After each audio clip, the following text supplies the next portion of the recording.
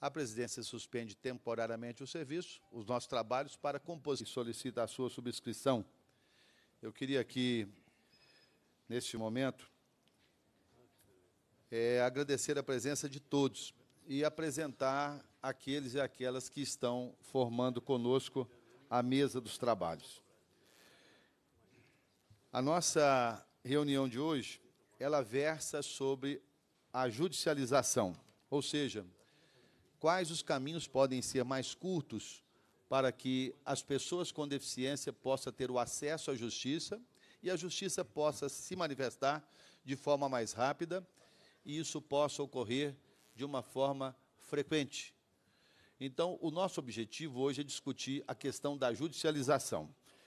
Está conosco aqui Dr. Estevão Machado de Assis Carvalho, é coordenador da Defensoria Especializada do Idoso e da Pessoa com Deficiência. Aqui à minha esquerda. Muito obrigado, doutor Estevão. Está conosco ainda doutora Mariana Rezende Batista, que é da Comissão dos Direitos da Pessoa com Deficiência da Ordem dos Advogados do Brasil, Minas Gerais, aqui a segunda à minha direita. Está conosco o doutor Luiz Renato Braga Areias Pinheiro, defensor público, à minha direita também após a doutora Mariana. Conosco aqui o presidente do Conselho Regional de Fisioterapia e Terapia Ocupacional, CREFITO, Anderson Luiz Coelho, é o nosso último à esquerda. Dr. Rômulo Ferraz, Procurador-Geral de Justiça, adjunto institucional, aqui à minha esquerda. E ao nosso lado, deputado Antônio Carlos Arantes, aqui à direita, e deputado Arnaldo Silva, à nossa esquerda. Os dois deputados nos ajudam a compor a Comissão de Defesa dos Direitos da Pessoa com Deficiência da Assembleia Legislativa. E eu, Duarte Bexir, o presidente dessa comissão. Pois bem, eu passo a palavra primeiramente ao doutor Rômulo Ferraz, que nos deu a oportunidade aqui vir e se manifestar, mas que também tem um compromisso que esteja já marcado, já estava marcado para poucos minutos após o encerramento dessa nossa, ao início da audiência. Doutor Rômulo, nós passamos a palavra ao senhor. Bom, boa tarde a todos. Eu gostaria de saudar inicialmente o deputado Duarte Bexir, presidente da Comissão de Defesa dos Direitos da Pessoa com Deficiência, os nossos amigos também, deputados Arnaldo Silva e Antônio Carlos Arantes, os demais integrantes da, da, da nossa mesa, né, amigos da Defensoria, da, das entidades representativas da causa que está sendo é, discutida aqui hoje, é, dizer da nossa alegria pela participação e realização, até tinha recebido semana passada o programa, deputado Duarte, do, desse seminário, né, que é a Semana Estadual de Conscientização sobre os Transtornos do Espectro e Autismo, e, e fiquei, de fato, admirado pela qualidade das palestras que foram articuladas aqui, especificamente sobre esse tema, que atinge, né, evidentemente, tantas famílias e, e, e um tema complexo né, na questão da inserção social né, da pessoa portadora desse desse, dessa, vamos dizer, desse transtorno, de, desse espectro. Né? É, e agora, por hora, também gostaria de elogiar a, a condução do, do presidente Duarte Bexir, dar o meu testemunho. Se trata de um parlamentar né, muito combativo nas questões todas que, que está à frente. Nós tivemos a oportunidade de, de muitas vezes estar juntos lá na época da Secretaria de Defesa Social e aqui nessa comissão, nas questões mais graves, sempre tem tomado a frente. Há pouco tempo mesmo nós estivemos juntos em numa questão importante, que é algumas escolas né, da, de, que, que acolhiam fechamento, é. fechamento, e parece até que conseguimos, conseguimos. Né, assim, levamos até o governador pessoalmente, eu fui lá com as duas promotoras, são acho que oito ou dez escolas, algumas até de BH, e tinha uma de Campo Belo, Perfeito. e graças a essa iniciativa, o chamamento da questão, pelo alerta né, do, da comissão e do presidente, nós conseguimos é, estancaram uma, uma, ação que seria altamente nefasta com relação àquelas pessoas que estão há anos acolhidas naquelas entidades. O, esse tema que está sendo tratado especificamente na questão da judicialização, que é um tema que preocupa muito, essa demanda imensa, nós mesmos, na Procuradoria, recebemos muitas, é, muitos expedientes né, com relação à, à dificuldade do cumprimento dessas ordens por parte do poder público, seja estadual e pelos municípios, sobretudo os municípios que sofrem um ônus muito grande né, de demandas, porque justamente são, é o ente público que está mais próximo ali, e todos os profissionais da Defensoria, do Ministério Público e a, a própria advocacia, evidentemente que foca né, a, a, aquela postulação no ente mais próximo, que é o município, que já tem uma sobrecarga imensa. Nós sabemos das dificuldades que os prefeitos enfrentam nessa área e a dificuldade de transferência também desses recursos. Mas o fato é que, apesar de toda a discussão que existe em torno do tema, o próprio Tribunal de Justiça, na terceira vice-presidência, trata da, dessa questão. nós temos lá um especialista, que é o desembargador Renato Dresch, e procuramos avançar. Eu acho que há um certo descontrole também nessas demandas que muitas vezes podem ser resolvidas do ponto de vista administrativo ou gerencial, né, de gestão, e o, o, processo, às vezes, de judicialização, o volume, né, perde o controle e acaba que prejudica o, usuário, sobretudo do Sistema Único de Saúde, que é o destinatário final, principalmente a população é, mais carente. Então, é, senhores e senhoras aqui da plateia, eu agradeço a oportunidade de a gente ter participado. O Ministério Público tem um centro de apoio que interage muito com essa comissão também, que é dirigido pelo doutor Bertoldo Matheus de Oliveira, que hoje não pôde vir aqui, né, que cuida da questão também do, da pessoa portadora de deficiência e também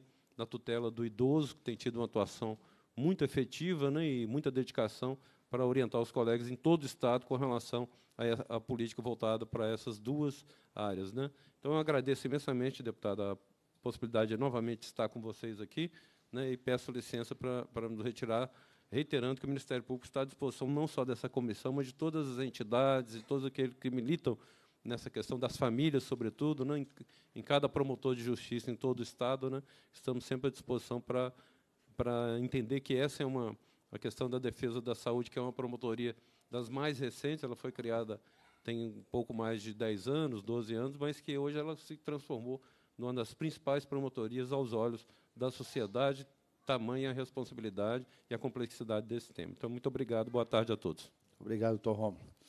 É, eu queria avisar a todos que o desembargador doutor Saulo Pena, vice-presidente do Tribunal de Justiça, já se encontra na Assembleia, está aqui numa conversa com o presidente da Casa, deputada Dalcléver Lopes, já está descendo para estar conosco aqui.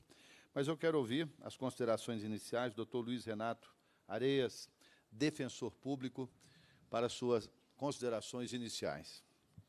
Boa tarde a todos. Boa tarde, deputado Duarte Birchir, presidente dessa mesa, a quem cumprimento todas as demais autoridades.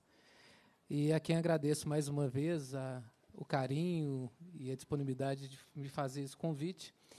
E hoje eu venho mais como ouvinte, como pai, porque nesta mesa a gente está muito bem representado pelo doutor Estevão Machado, que é o coordenador da Defensoria Especializada da pessoa é, com deficiência e idoso, e um tema que tem tudo a ver com a especializada dele, que são as judicializações. Né? O meu papel é, dentro da defensoria e numa ação articulada com o doutor Estevão é basicamente na atuação extrajudicial, em que eu venho focando as minhas ações. Né?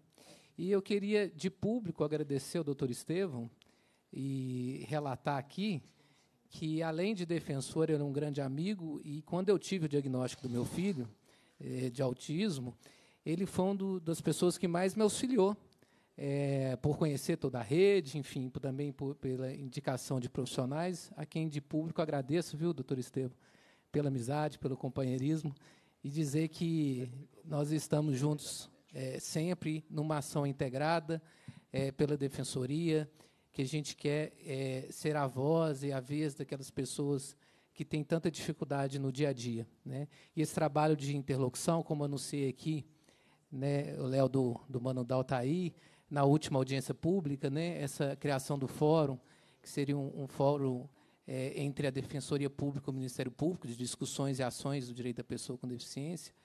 Então, eu acho que é, é de um ganho imenso para a sociedade essa articulação entre a Defensoria e o Ministério Público. Eu queria ter até a oportunidade de falar isso para o doutor Rômulo, que teve que se ausentar, no trabalho também fantástico que o doutor Bertoldo vem fazendo à frente do Ministério Público, e essa intenção de, de dialogar, inclusive com as outras instituições, para que a gente resguarde os direitos, seja da forma judicial ou da forma extrajudicial. A gente quer resolver o problema e, para isso, a gente tem que utilizar de todos os mecanismos possíveis. Né? Então, a minha fala é breve, agradeço mais uma vez a oportunidade, tenho certeza que, essa, que esse dia, essa tarde, vai ser de grande valia nas discussões. Muito obrigado.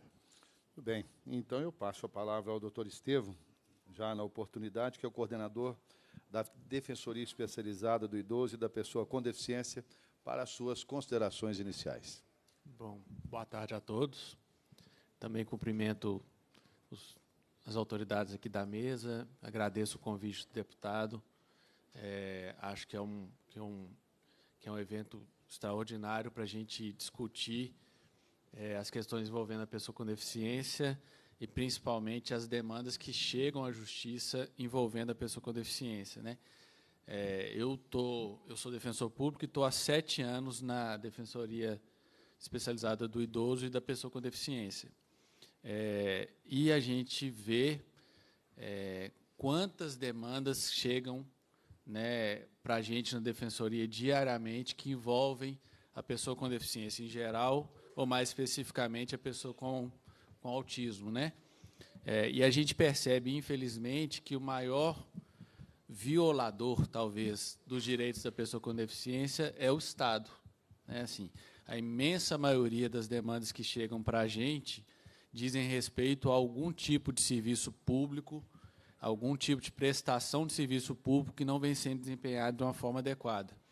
Então, desde acesso à educação, acesso à educação de qualidade, é, adaptações curriculares, adaptações é, com relação às questões educacionais, acesso ao mercado de trabalho é, e, e, né, e, outras tantas chegam na defensoria diariamente, assim, tanto da pessoa com deficiência em geral quanto da pessoa, mais especificamente, a pessoa com autismo.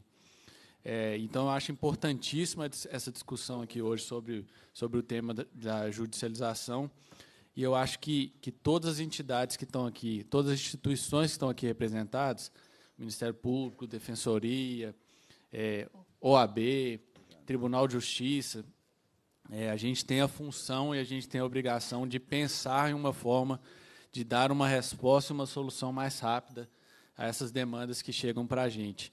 Infelizmente, em último caso, a gente tem que recorrer ao Poder Judiciário. Né? E a gente sabe que pelo volume de trabalho, pelo volume de demandas que chegam ao Poder Judiciário, nem sempre essas demandas são atendidas e respondidas né, em tempo hábil, em tempo adequado. Então, acho que a gente tem que começar a pensar, junto também com o poder público, eu digo aí representantes do Estado, no município, etc., uma forma de tentar evitar que essas demandas cheguem ao Poder Judiciário é, que chegue ao Poder Judiciário só aquelas demandas imprescindíveis, aquelas demandas que não têm outra forma de solução. Então, como foi falado aqui pelo Luiz Renato, né, já está sendo pensado um fórum né, entre Defensoria e Ministério Público, especificamente nessa área da pessoa com deficiência, um fórum de discussão permanente dos temas, para a gente tentar soluções extrajudiciais, né, através de ofício, através de reuniões, através de audiências públicas, etc., para tentar evitar que essas demandas cheguem ao Poder Judiciário. Infelizmente, essas demandas chegam ao Poder Judiciário porque elas não são resolvidas de nenhuma outra forma. Né? A gente só manda uma demanda para o Poder Judiciário quando a gente né, tenta de outras formas e vê que não há solução.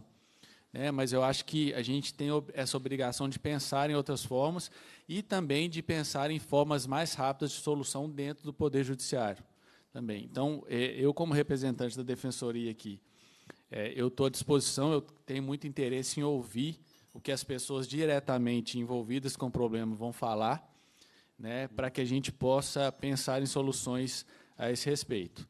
Né? Então, mais uma vez agradecer o convite, me colocar à disposição aqui nessa tarde, colocar a Defensoria como instituição à disposição também para atender as demandas que surgirem. É isso. Obrigado. Obrigado. Semana passada nós nos reunimos aqui e discutimos a questão da síndrome de Down. E o doutor Luiz Renato, ele já dizia desse fórum permanente, e na oportunidade nós até afirmamos ao doutor Luiz que a Assembleia, através da comissão, gostaria de estar presente para que nós pudéssemos juntos buscar alternativa e, sem dúvida alguma, é um grande ganho espetacular na causa da pessoa com deficiência esse fórum permanente. Vai minimizar, eu não digo que vai é, definir, mas vai minimizar, eu tenho certeza que vai ajudar muito essa situação. Muito obrigado pela presença também, doutor Estevam. Eu queria ouvir a doutora Mariana Rezende Batista, da nossa OABMG, membro da Comissão de Defesa do Direito das Pessoas com Deficiência. É, boa tarde a todos. Obrigada mais uma vez pelo convite, em nome da comissão. E também como advogada atuante na área, é, eu já atuo nessa área há muito tempo, em defesa da, das pessoas com deficiência, é, não só autista, mas também como demais deficiências. E é exatamente isso que o doutor acabou de falar. O que a gente tem visto é essa demora nos processos, né? Muitas vezes essa demora ela prejudica a, a pessoa com deficiência, o autista, porque muitas vezes é, a, a, gente entra na justiça para um tratamento ou um medicamento e até que saia uma decisão, a pessoa fica sem o tratamento, sem o medicamento e isso é, é, é péssimo, né? Muitas vezes, por exemplo, a, o autista ele precisa do tratamento ainda no início da vida é, com dois, três anos de idade. E a demora para a gente conseguir esse tratamento está sendo muito difícil, não só no poder público, né, que é onde tem tido o maior problema, mas também no poder privado. A gente tem tido muitas demandas contra planos de saúde ou até mesmo na questão da educação em escolas particulares, que também é uma demanda que a gente tem tido demais, apesar de que a gente tem conseguido suprir é, muitos de forma extrajudicial, principalmente as demandas é, na, na, questão de educação, né, que muitas vezes a judicialização não é o melhor caminho. Mas, é, então, a nossa proposta é, é, exatamente essa, às vezes, uma criação né, de uma vara especializada para processo para pessoa com deficiência, é, processos mais, de forma que os processos sejam mais céleres, e até mesmo servidores conhecedores da lei, porque muitas vezes é, os servidores não têm nem conhecimento, ou, ou, o próprio juiz, às vezes nem por culpa dele, mas é porque são muitas matérias, são muitas demandas. Então, eles colocam um juiz que desconhece até mesmo o estatuto da pessoa com deficiência e ele fica perdido. Né? Colocam ele e ele tem que trabalhar com vários tipos de processos diferentes muitas vezes ele desconhece essa lei especificamente. Então, eu acho que ia ser muito importante, muito interessante essa criação dessa vara. Eu acho que os processos eles iam ser mais rápidos e até mesmo com sentenças mais positivas, porque viriam de servidores, de pessoas conhecedoras da lei. E então eu, como advogada e também como membro da comissão, me coloco à disposição para qualquer discussão e qualquer demanda que vocês precisarem. Obrigada. Ok, doutora Mariana, obrigado. Eu pergunto ao deputado Antônio Carlos Arantes e Arnaldo Silva se desejam neste momento. Ok. Então, nós vamos ouvir os nossos participantes da plateia. É, a nossa assessoria, já está aqui me passando a primeira, está à disposição, a pessoa levanta a mão, ele vai preencher com o nome e nós vamos chamar. Nós, os microfones que estão disponíveis são esses ao, ao lado direito aqui, é, e o lado esquerdo estão à disposição para que os senhores e as senhoras façam as ponderações, contem o que está acontecendo, o que espera da justiça, que tipo de demanda é que está acontecendo na família. Ou seja, o momento é esse. Eu queria passar a palavra ao nosso primeiro participante da plateia, Alexandre Conrad, ele é advogado é de Sabará. Doutor Alexandre. Aí, por favor. Aí repete os dados, nome completo, por favor. Ok. Boa tarde. Cumprimento a mesa, as autoridades ah, presentes, Anderson. os colegas, né, advogados, defensores, promotor, o deputado Duarte Bexir, a quem eu tenho um grande apreço, tá deputado Antônio Carlos, deputado Arnaldo, e parabenizo vocês por esse trabalho maravilhoso que vocês fazem nessa comissão, nessa casa, onde tive a oportunidade na semana passada de estar também presente, quando foi tratada a questão da síndrome de Down. E eu estou aqui hoje falando como advogado, como pai de uma criança portadora de deficiência. Eu tenho uma filha de sete anos, portadora de paralisia cerebral, e já tive que judicializar algumas questões relativas a ela. E estava ainda há pouco descrevendo para a assessoria de, eh, de, comunicação do deputado Arnaldo, é que a gente lida, além da questão da judicialização, que é lenta no nosso país, nós sabemos que a justiça aqui é extremamente lenta, nós temos a questão da burocratização também. Nós precisamos desburocratizar essas questões, principalmente voltadas para as pessoas portadoras né, de deficiência, que, inclusive, existe aí uma questão da, da, da priorização né, dos feitos judiciais, mas que, na verdade, não funciona.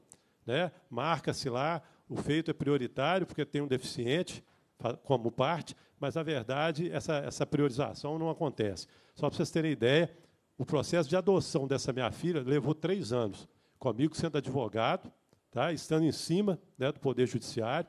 Além disso, levou-se dois anos e meio para que ela chegasse até nós. Ela ficou dois anos e meio num abrigo, é, é, período pelo qual ela poderia ter sido mais estimulada, porque ainda estava mais nova. Então, tudo isso tem que ser revisto, senhores, né, colegas, advogados, a OAB, acho que devem intervir veementemente sobre isso. Né? E essa questão das judicializações das demandas diárias aí, né? É, um plano de saúde que não quer cobrir um tratamento de uma criança portadora de deficiência, e aí você tem que ajuizar, e aí você tem que ficar de cima né, do juiz, do, da máquina judiciária, porque senão a coisa não anda. Né? Infelizmente, hoje, colegas advogados sabem disso, nós estamos vivendo aí a implantação já há alguns anos dos processos eletrônicos, que, na verdade, só emperraram mais a justiça, porque você distribui o processo eletrônico ele não está mais em cima da, das mesas, né? não são volumes mais visíveis, eles estão dentro dos computadores, e aí dentro dos computadores ficam mais mascarados. É preciso, às vezes, passar meses para você ir até uma vara, uma secretaria de uma vara judicial, inquirir, perquirir junto ao escrivão ou quem quer que seja, para que ele movimente aquele processo, porque o processo não é visto, ele está dentro do computador, não é, colega? Então, é, é, tá ficando, a coisa está ficando mais emperrada. Né? Pena que o pessoal, parece que o pessoal do tribunal ainda não chegou, mas eu gostaria que eles ouvissem isso, porque é uma coisa que é uma modernização, é um avanço tecnológico, né? podemos ter os processos todos é, é, é, é, informatizados, mas essa questão tem que ser vista, porque senão a gente vai ficar com uma justiça mais emperrada ainda, gente. Tá? Então eu queria deixar isso aqui bem claro. Agradeço ao Duarte o convite por, por estar aqui, viu, Duarte? E mais uma vez parabenizo essa comissão. Tá? Muito obrigado, uma boa tarde.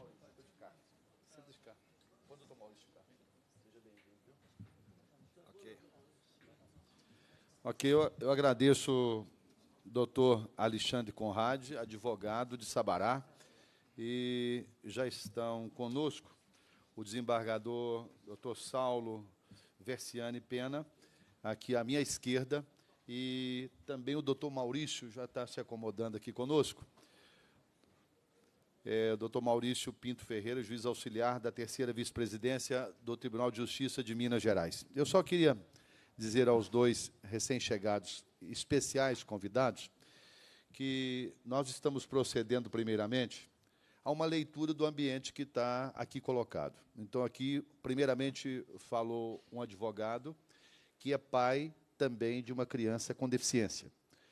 Ele nos relatou a dificuldade que foi o processo de adoção, a criança já tinha paralisia cerebral e foram quase três anos aguardando e essa menina num abrigo. Segundo o pai, já poderia ter recebido tratamento específico na família e que o processo foi muito moroso. Nesse caso, envolvendo uma pessoa com deficiência, se ela tivesse tido a oportunidade de ganhar um novo lar com mais rapidez, Poderia agora estar melhor, porque quanto mais se afasta o tratamento, posterga, a dificuldade de recuperação depois ainda é bem maior. Então, foi a primeira fala, e nós já ouvimos aqui as manifestações dos demais membros da mesa, todas no sentido de ouvir e, no final, tirar as conclusões. A gente ouviu o TJ e as representações aqui.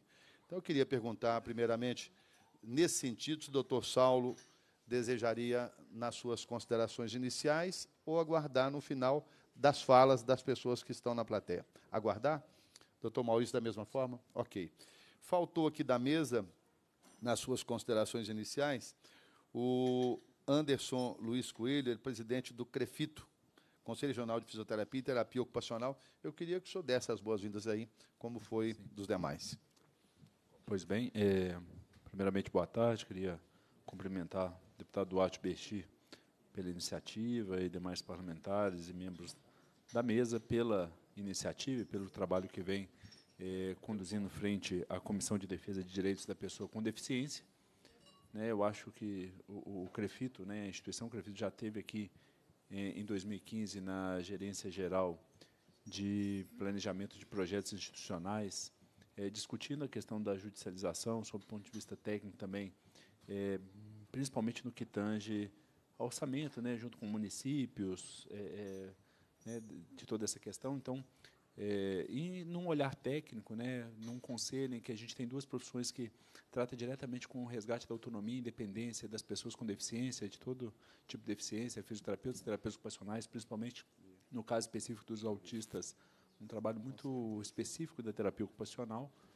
Né, é, é lógico que a gente gostaria e entende né, eu acho que isso é unânime com todo mundo, que esse, esses, essas, esses direitos não precisassem de chegar no judiciário né? porque a judicialização ela é morosa, é, ela tem um comprometimento sobre a questão é, de onde vai tirar essa dotação, de qual política pública, uma vez já tem previsão. Então, eu, é, e aí, ao mesmo tempo, nós ficamos felizes, e a gente contribui bastante, eu acho que o Poder Judiciário, com os magistrados, com, é, quando precisam de algum parecer sobre a questão técnica. Mas eu acho que eu fico feliz de ver isso acontecer aqui na Assembleia Legislativa, porque eu acho que é legítima a judicialização, sim, mas ela seria muito melhor se ela fosse de forma coletiva, apesar da necessidade de tratamento exonômico para os diferentes necessidades e especificidades de cada doente, né, de cada pessoa com essas deficiências, mas, ao mesmo tempo, é feliz de estar na Casa Legislativa, que pode trabalhar fortemente em alteração das políticas públicas e, e, e para dispor isso, porque eu acho que para o Poder Judiciário decidir quando existe já uma, uma garantia de direito numa política pública, num, num diploma legal, é, fica mais fácil, por mais que seja passível de reanálise o que já tem da política pública, mas então, para que o que nós esperamos enquanto CREFITO é, de produto e nos colocamos à disposição né, do, dos mandatos e, e, das comissões dessa casa, é para contribuir na construção de uma reformulação dessas políticas e pensar mais políticas que garantam o direito né, dessas pessoas com deficiência. Né? Okay. No nosso caso, o, o, transtorno do espectro autista. Tá, muito obrigado. É, lembrando que já tem em funcionamento o SEJUS, que é o Centro Judiciário de Solução e Conflitos e Cidadania, que tem realmente alcançado é, grandes resultados e depois, oportunamente, nós vamos ter oportunidade pelo doutor Saulo e doutor Maurício de falarem sobre o SEJUS, o que ele já propõe e o que acontece no âmbito do SEJUS também, que é um excelente instrumento de apoio à cidadania. Eu queria convidar para também participar conosco o servidor da casa, Frederico Pinho. Frederico está aí. Por favor, Frederico.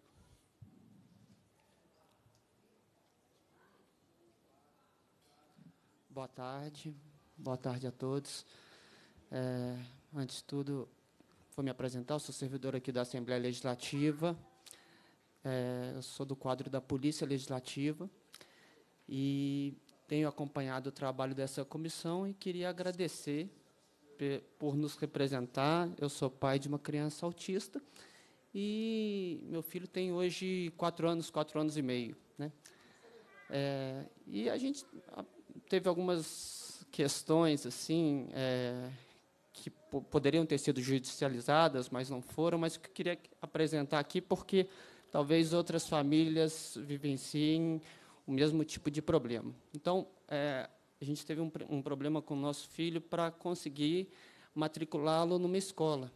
Né? E é, o, o, que, o que acontece algumas vezes é que as escolas às vezes mais próximas das nossas casas, que seriam mais convenientes, porque muitas vezes, no caso do meu filho, a gente faz vários tratamentos, ele tem fonoaudióloga, graças a Deus é, a gente consegue é, levá-lo também na terapia ocupacional, ele tem musicoterapia, então ele tem uma série de atividades durante o dia e facilitaria para a gente que a gente conseguisse matricular perto da, nossas, da, da nossa casa. Mas nem sempre isso é possível, porque as escolas é, alegam que não podem atendê-lo pela demanda especial que ele apresenta, porque é, muitas vezes a escola já tem naquela sala, naquele turno, uma criança com uma condição especial, né? e, e acaba que é, a gente fica numa situação de que, se a gente for judicializar essa questão, a gente já entra com uma criança com uma demanda especial numa situação assim de conflito na escola. Né? Então,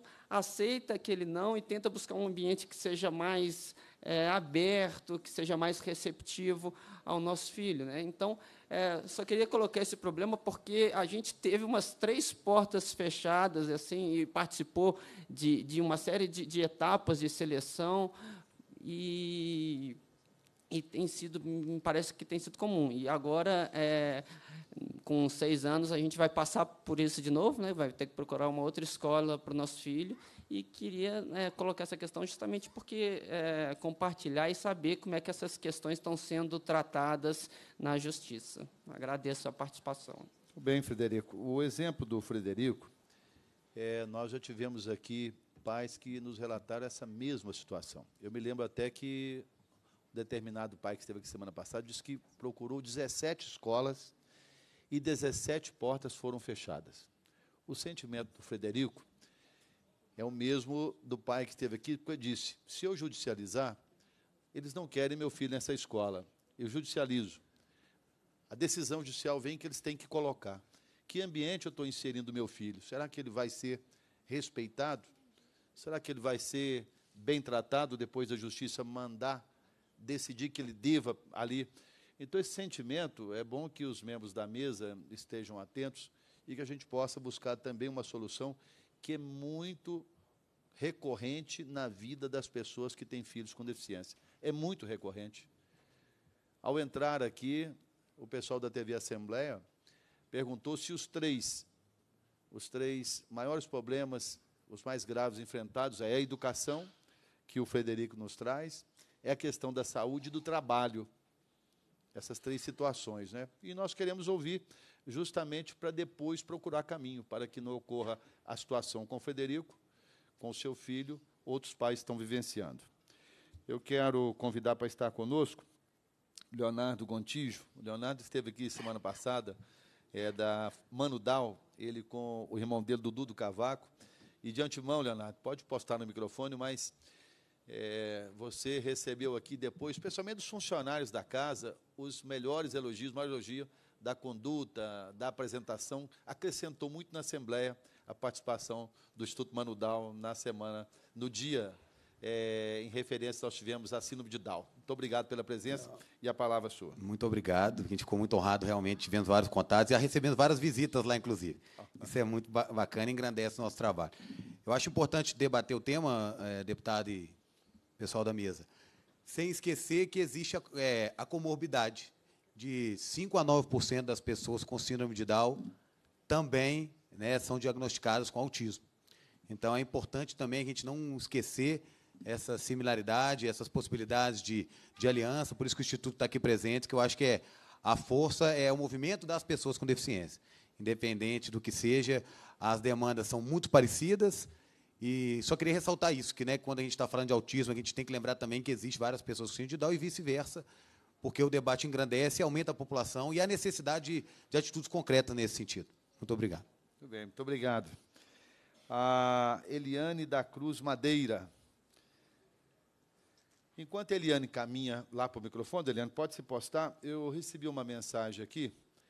É, um empresário, ele ficou sabendo do trabalho e ele está oferecendo, eu queria vir com a, aqui com a, os representantes da OAB, aqui da, da Justiça também e da Defensoria Pública, ele está oferecendo uma bomba vácuo aspiradora, sugador de sangue e secreção na caixa. Se tiver alguma família que tenha pedido, ele está oferecendo e depois eu vou passar o contato, já está disponível, ele pede só para buscar, viu? É, é proprietário de um hotel em Belo Horizonte. Acompanhe os nossos trabalhos. Muito obrigado. Então, com a palavra, a senhora Eliane da Cruz Madeira. Boa tarde, pessoal. Todos aqui presentes, à mesa. É, o que eu gostaria de colocar aqui nessa tarde exatamente uma situação que o pai passou ali. Né? A questão da gente ter um filho, igual eu tenho uma filha com paralisia cerebral, e a gente procurar a escola e as escolas se fecharam a porta.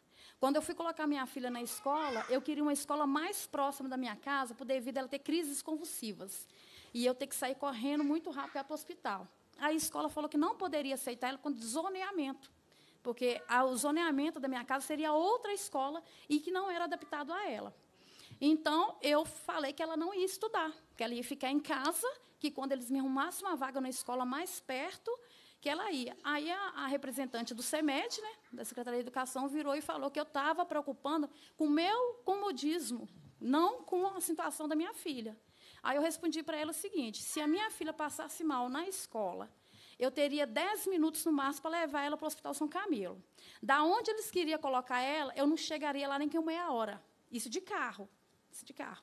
Da escola que ela estuda hoje, que aí eu tive que mover uma ação na justiça para conseguir colocar ela nessa escola. Onde ela estuda hoje, da minha casa lá, a pé, eu chego com 10 minutos. Outra questão também que acontece muito, que é outra ação que eu tenho contra a Prefeitura de Sabará, é o seguinte: ela faz tratamento no Hospital São Camilo, né, pelo plano de saúde. Aí ela não tinha o transporte. Tinha transporte. Eu adoeci, eu tive uma embolia pulmonar esse ano e não podia carregar ela. Aí eu pedi o transporte da prefeitura para poder trazê-la para o hospital. Aí eles alegaram para mim que não poderia, por devido ser particular. Que eles não poderiam me dar o transporte para ser particular. Falei, mas mesmo sendo particular, ela tem direito ao transporte. Aí eu voltei, não quis mexer mais, fiquei. Aí me arrumaram, porque ela precisa de um fisioterapeuta respiratório. Aí me arrumaram a fisioterapeuta respiratório do SUS para poder atender ela. Só que a fisioterapeuta não atende ela bem. A gente, como pais de crianças especiais, a gente sabe a necessidade dos nossos filhos. Esse ano, de, de dezembro até agora, já teve três crises respiratórias. A fisioterapeuta respiratória que eles me indicaram para atender ela tava de, entrou de licença no final de ano, voltou semana passada. Então, de dezembro até agora, ela não fez um atendimento com a minha filha. Então, eu estou pegando ônibus nas minhas condições. A minha outra filha, que também é uma deficiente auditiva, vem comigo para poder carregar ela. Então eu entrei de novo com a ação pedindo transporte. Aí eles negaram novamente. Então é essa questão que eu queria levantar, que mesmo a gente tendo condições de pagar um tratamento particular, a, a prefeitura ou a secretaria de saúde não nos fornece o transporte. Eles alegam que, não, que, a, que, a, criança da gente não tem transporte, que a gente tem que conter com o tratamento que eles dão. Mas se o tratamento que eles dão não é necessário à criança? É esse que, a gente, que eu questiono muito isso. Entendeu? Porque a fisioterapeuta que atende ela no São Camilo, muito boa.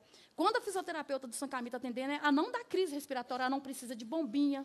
Eu uso um remédio nela que custa 235 reais. E eu tenho que comprar dois por mês.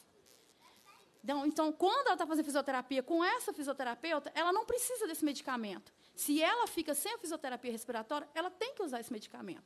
Isso tudo acarreta muito mais. A monitora da escola estava notando ela com dificuldade em pegar as coisas. Por quê? Pelo esse período que ela ficou sem fisioterapia. Devido a não estar tá podendo trazer ela, ela ficou um pouco afastada. Agora ela voltou. Só que aí eu estou com ação na prefeitura pelo transporte. Ela faz ecoterapia. Aí eu pedi esse transporte. Aí a prefeitura alegou que não podia deixar lá no horário que ela tinha que fazer. Me pediu para me mudar. Eu mudei o horário três vezes. Quinta-feira passada, eles me deixaram lá plantada, de 11h45 a 1h15 da tarde, esperando o carro, e não mandaram. Liguei lá na Secretaria de Saúde, reclamei com eles, aí eles falaram que não tem motorista para poder buscar nós. Entendeu? Então, assim, é essa questão. Por quê? Se ela tem esse direito, pode ser. Por que, que eles não, não cumprem esse direito? É essa questão que eu queria levantar aqui para todos. Agradeço a senhora Eliane da Cruz Madeira, um exemplo aí daqueles outros também que poderiam estar aqui hoje que vêm refletir a realidade do nosso Estado. Eu convidaria o pessoal da mesa, as autoridades aqui, porque não tem mais muitas, muitas inscrições. Se estão guardando direitinho as situações para reportar aos exemplos aqui trazidos, porque muitos estão em casa acompanhando, nós temos outros que não vieram, mas eu tenho certeza que aqui há a síntese do que nós vamos encontrar lá fora dos outros casos. Anotando e depois puder, se for pontualmente respondido a cada situação, para que, pelo menos aqueles que aqui vieram, tenham uma alternativa do que fazer quando terminar esse nosso encontro de hoje. Né? Queria convidar é, Gerry Adriane, que é pai também de uma criança com deficiência. Senhor Gerry Adriane, por favor. Tem mais três só. Boa tarde a todos, aos integrantes da mesa, ao pessoal aqui da sala. Eu sou pai do Cassiano Henrique Santos Almeida. Ele é deficiente auditivo. E a gente tem muita dificuldade nas escolas, né, ainda mais com o que está acontecendo. Né, o governo interessado em acabar com as escolas, a nossa luta é muito grande. Mas hoje eu vim aqui mais por causa de uma questão que, assim, que eu achei muito errado que aconteceu na escola do meu filho, o Marcelo sabe que eu comentei com ele. Nós tínhamos um professor de educação física, o Paulo. Ele foi para a escola o ano passado. Aí nós, qual, qual, é a escola? Só escola gente... Estadual Francisco Sales. Francisco Sales. Ele é um professor muito bom, dedicado o ano passado ele esteve lá porque a professora de educação física ela estava de licença maternidade. Aí por ela ter se ausentado, aí ele veio. Aí ficou e mudou totalmente o ritmo dos nossos filhos, né? Nosso filho começou a interagir mais, querer ir para a escola, fazer educação física. Em casa, o comportamento mudou por causa desse professor. Aí, quando foi esse ano, o professor não voltou. Aí eu fui conversar com o Marcelo e falei assim: ah, não, porque a outra designada tem mais tempo no Estado. Aí os meninos voltou tudo para trás, a mesma coisa. Meu filho não quer mais fazer educação física, fala com ele de educação física, não quer mais. Os meninos estavam interessados em jogar bola, interagindo com o professor, que o professor também é especial, o professor é surdo. Então eu queria expor para a mesa ali para ver o que, que eles podem fazer, que eu acho que o direito seria desse professor, que é formado em educação física, é especial, tem o mesmo problema que os nossos filhos, que é surdo, porque a outra professora é ouvinte. Eu não estou querendo tirar o serviço dela nem de nenhum professor ouvinte. Eu estou olhando o que é melhor para os nossos filhos. O que vocês poderiam fazer para nos ajudar para que esse professor retornasse o mais rápido possível? Que, que nossos filhos, por ser deficientes, lá também tem meninos deficientes lá, auditivo, que é autista, é, que, que tem síndrome. Né? Então, tem vários tipos de deficiência. Não, a gente queria só ver o que, que vocês poderiam fazer para, para nos ajudar. E é só isso. Ok. Muito obrigado. O senhor pode até se colocar, permanecer por enquanto só. É, como a questão do senhor ela é diferente dos demais casos anteriores e nos remete a uma ação da Assembleia, porque é uma questão ligada ao Estado, à Secretaria de Educação. Então, nós nos colocamos à disposição, então, logo termine a audiência, o senhor passar o nome desse professor que esteve e que não está, e o nome da escola, que a comissão se propõe a tomar as medidas necessárias junto à Secretaria de Educação, imediatamente. Ok? Obrigado, Duarte Beti. Beti, tá. agradeço desde já. Ok. Edna Marta Cota. Dona Edna, por favor. Boa tarde. Como o Bexi sabe, nós estamos acompanhando a, Assembleia, a questão dos deficientes, há quase 10 anos. O meu filho é surdo mudo, é amigo do filho do pai. E também eu a questão da escola é a questão da flexibilidade que nós conseguimos. Assim, até no momento, eu não sei se é certo, se realmente vai ficar na flexibilidade. Que é o, a questão é lei federal. Tira. Aí conseguimos a sala. Nós ia para de manhã, de manhã no EJA, ficamos, a Secretaria da Educação foi para dentro da escola, três vezes você estava. É, tem um deputado também que estava aí, que estava junto. Só que a minha preocupação é essa sala de flexibilidade, igual hoje liberou, a parte da tarde com um professor que, na verdade, era do na reforço. qual escola? Escola Estadual Francisco Sales, Perfeito. também. E fora que tirou é a fisioterapeuta, até, até, até hoje não apareceu na escola, está tirando devido a. Vai diminuindo os meninos, vai diminuindo. Tirou um afono, um ATO e uma fisioterapeuta. Só que os meninos, tem uns, eles é surdo, mas tem o grau que escuta, né? O meu é profundo, mas tem os meninos que precisam dessa TO e da fisioterapeuta nessa escola elas saíram assim, até hoje não designaram nenhuma TO, aí, pelo que eu entendi, ou fica a TO ou a fisioterapeuta. Na verdade, tem cadeirante, tem os meninos com paralisia cerebral, meu filho tem retardo mental, vai, aprende, esquece, mas a, a TO também estava ajudando. Com um afone só, para os meninos todos à tarde, ela, eu acho que ela não está dando conta. E eu quero saber, é, igual voltou, o EJAS, que seria dos meninos, para mim, colocou um professor. É, Marcelo, quanto tempo tem o professor? O Marcelo vai falar também. É, aí, nessa questão, é a TO, a, a, a, as fones que saíram, a fisioterapeuta e o professor, que era igual. Que a, tem uma fono também que é surda, o professor de educação física. A questão da flexibilidade, que a gente botou uma sala para os meninos à tarde, que, na verdade, os meninos iam para o EJA. Porque, para mim, EJA é para escola normal. Não tem EJA para escola especial. Eu já estou cansada de falar. A inclusão é bonita, é bonita no papel, né? na, na, na prática não funciona. E aí, como é essa lei federal que eles estão colocando os pequenos, igual a mãe aqui, para o município, a nossa escola já perdeu o, o, a educação infantil, prezinho primeiro e segundo. Aí falou que pode abrir vaga. Só que a própria Secretaria da Educação mandou os funcionários lá, que é, é a sub, subgerente, que desestimulou os pais uhum. com tons que vai lá fora vai dar tudo certo. E, na verdade, não está acontecendo isso, que está todo mundo perdido. Perfeito. É, dona Edna, é, a senhora ainda pode se colocar? Da mesma forma que nós respondemos ao Gerry, nós também vamos responder a senhora. E melhor ainda que o Marcelo, que é o diretor da escola, está presente, e depois da senhora eu já quero passar a palavra imediatamente para o Marcelo, para que nós façamos uma ação conjunta desses dois e outros problemas existentes na escola e nós busquemos uma alternativa em conjunto. Até porque ainda no mês de abril, nós vamos ter uma audiência para tratar de como andam as coisas nas escolas especiais. Eu hoje recebi um telefonema de São Sebastião do Paraíso, que é a cidade que o deputado Antônio Carlos Arantes representa muito bem na Assembleia. Nós, quando fechou a escola Mariana Marques lá, eu pedi que fizesse um acompanhamento dos alunos dessa escola que foram para as escolas é, regulares, normais, para que nós pudéssemos acompanhar. E nós vamos votar um requerimento para poder fiscalizar o fechamento da escola, para onde foi e como estão esses alunos hoje. Se estão dentro daquela estatística que, no mínimo, 60% voltam para casa e não tem mais a escola de origem. É? Então, nós vamos fazer essa audiência para saber entender o momento dessas escolas, que o senhor também é diretor de uma delas.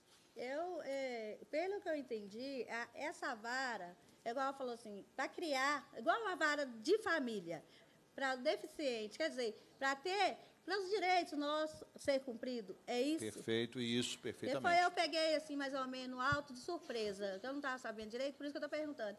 Porque na falar, gente, palavras não vão ao vento, se você não estiver ali, ó, é, como se diz? Tem que ser na caneta, igual falando o ditado popular, igual meu pai fala, tem Está escrito, registrado em cartório, porque para nós tem que ser lei, Bexi, porque não Perfeito. adianta. Hoje eles dão, amanhã eles tiram. E eu agradeço pela oportunidade. Ok, nós é que agradecemos a participação da senhora. Marcelo, Marcelo é diretor da Escola Especial Francisco Sales, que é uma escola dedicada ao ensino de alunos com problema de audição. É, boa tarde a todos à mesa, doutor Saulo, deputado Duarte, que tanto tem nos ajudado né, com a comissão aí dos deficientes e produzindo bons resultados. Sempre estamos aqui, né, doutor Luiz, doutor Estevão, que é da Defensoria. Então, o que eu posso falar hoje para os pais, como diretor da Escola Francisco Sales, que depois dessas audiências públicas, né, a situação vem mudando e melhorando. Né? Graças ao trabalho dessa comissão.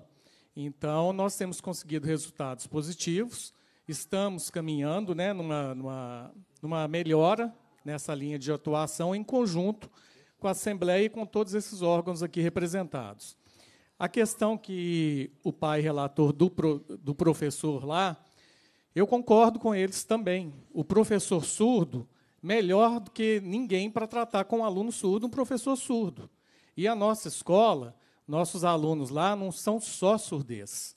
95% dos nossos alunos têm outros comprometimentos associados. Nós temos crianças surdas autistas, nós temos crianças surdas com paralisia cerebral, nós temos todo tipo de deficiência lá associada à surdez. Então, a escola especial ela é importante por isso, porque ela tem um trabalho diferenciado. Agora, no caso desse professor, a gente segue uma resolução né? Infelizmente, a outra professora ela tem mais tempo, então a preferência foi dela. Agora, nós estamos na torcida para que esse professor surdo volte, né?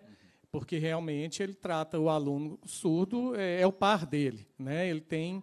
Todo profissional é diferenciado. Temos bons dentistas, bons médicos, né? bons advogados e péssimos advogados, então é geral isso. Né? E ele é um professor diferenciado, não só pela surdez, porque ele é bom mesmo no que ele faz. Então, a gente acompanha, nós estamos procurando é, atender, o senhor conseguiu, né, através aqui dessa comissão, que voltasse a matrícula para escolas especiais. O senhor visitou as escolas especiais que estavam caminhando para o fechamento e hoje né, teve um, um alívio, né, um respiro maior. Então, nós estamos conseguindo, sim, estamos avançando. E é importante que os pais estejam aqui. Era para ter vindo mais pais. Né? Isso mostra a preocupação dos pais e o assunto hoje, que é a judicialização, né? se criar mais uma vara, né? pediu o doutor Saulo aí, isso vai ser de extrema importância, sim, doutor, porque vai aliviar e muito, né? e ajudar muito na questão desses pais, que, igual no meu caso, repito, não é só surdez, tem outras deficiências associadas. Então, deixar claro para os pais que nós estamos caminhando, avançando, é, junto com a comissão e representando aqui como diretor dessa escola especial e pleiteando né, para a melhoria nesse caso e, para isso, agradecer a todos vocês pelo brilhante trabalho. Muito obrigado. obrigado. O Marcelo é diretor, portanto, da Escola Estadual Especial Francisco Sales. Denise Martins Ferreira. Dona Denise. Depois a dona Vilma poderia se colocar perto do microfone para a senhora depois. Pode tirar, se a senhora quiser, pode tirar o microfone. Acho que meu tamanho aqui. É isso, tira deu, aqui. Né? Deu aqui. Bom, é, primeiro falar da, da que eu atualmente sou presidente da Associação Mineira de Amigos e de Pessoas com Epilepsia. É uma das comorbidades também que acometem as pessoas com autismo e nós temos algumas dificuldades. Tá. Nós vivenciamos algumas dificuldades é, com relação à medicação. É, a medicação no município de Belo Horizonte, a medicação básica, que atende 70% das pessoas com epilepsia, elas é, é, atendem e têm tido fornecimento adequado. No entanto, com relação à Secretaria de Estado, nós temos uma, uma falta é, crônica. Às vezes tem um, medicamento, depois ele é fornecido, passa a não ter um outro, e para a epilepsia e para o autismo, isso significa um, uma perda, inclusive neurológica, muito severa, que às vezes pode não ser resgatada. Esse é um item que eu reforço aqui como uma necessidade que a gente tem de, da judicialização. Com relação é, aí, à minha grande vivência é em defesa da escola especial, como o senhor bem conhece. É, a gente luta muito para que é, nós não somos contra a inclusão escolar, a gente entende que a inclusão começa no seio familiar. Nós temos muitas famílias que, com filhos com deficiência, os, esses filhos são excluídos da própria família. Então, não é só por estar numa escola dita inclusiva que ele é, vai ser é, é essa inclusão vai ser feita na sociedade. E o que a gente faz a defesa é justamente para que a criança tenha o, o atendimento, a, o estímulo é, para a alfabetização ou para o que é, de, é, é a, em nível educacional desde a mais, mais terra idade.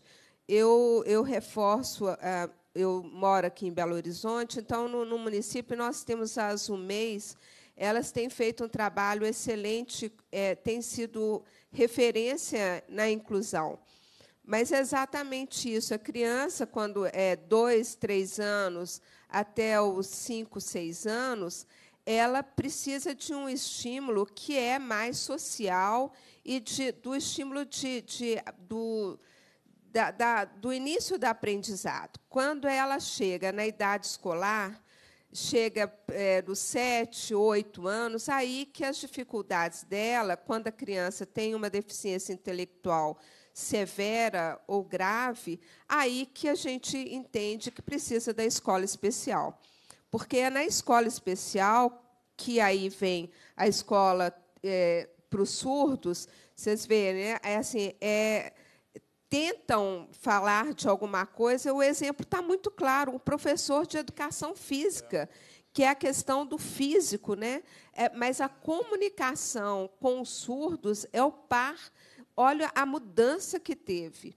E as pessoas insistem em colocar pessoas surdas em escolas comuns que ah, eles estão vivendo num outro ambiente que é do ouvinte. Não respeita a linguagem, a, a, a comunicação que é própria deles.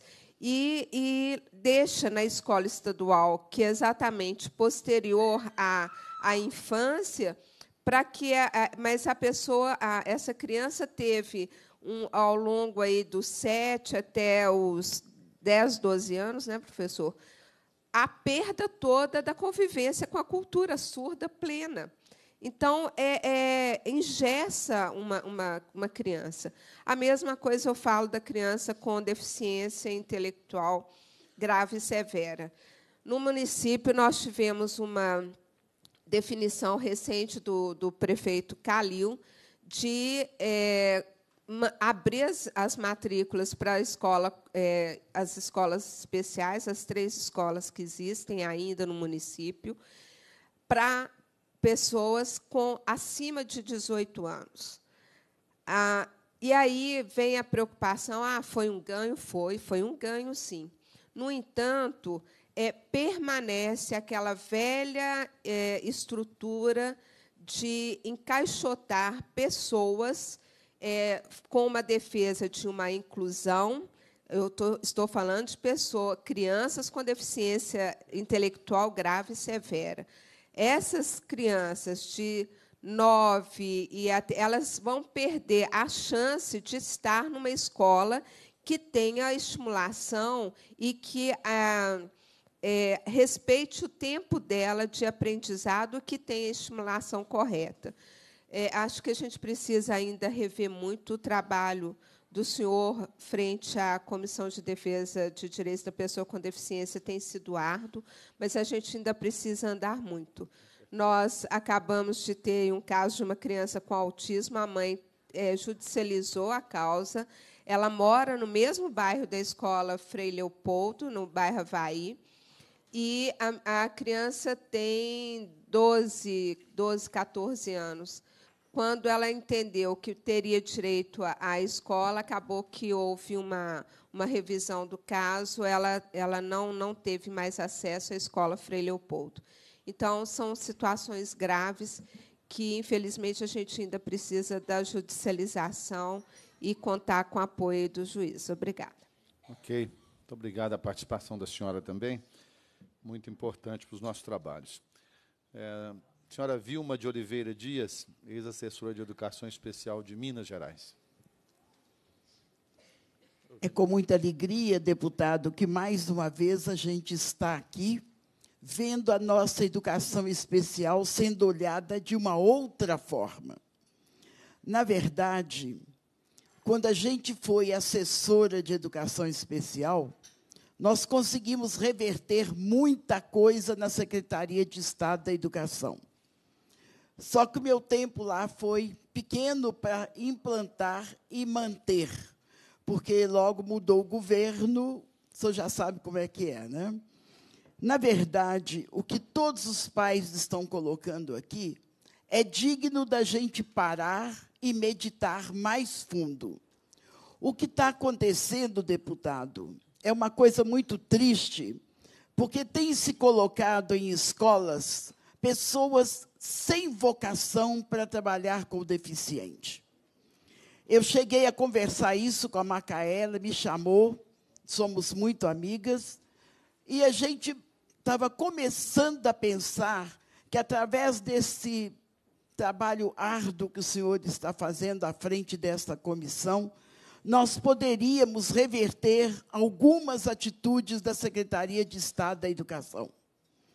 Gente, para começo de conversa, educação especial é diferente. Não é a escola comum.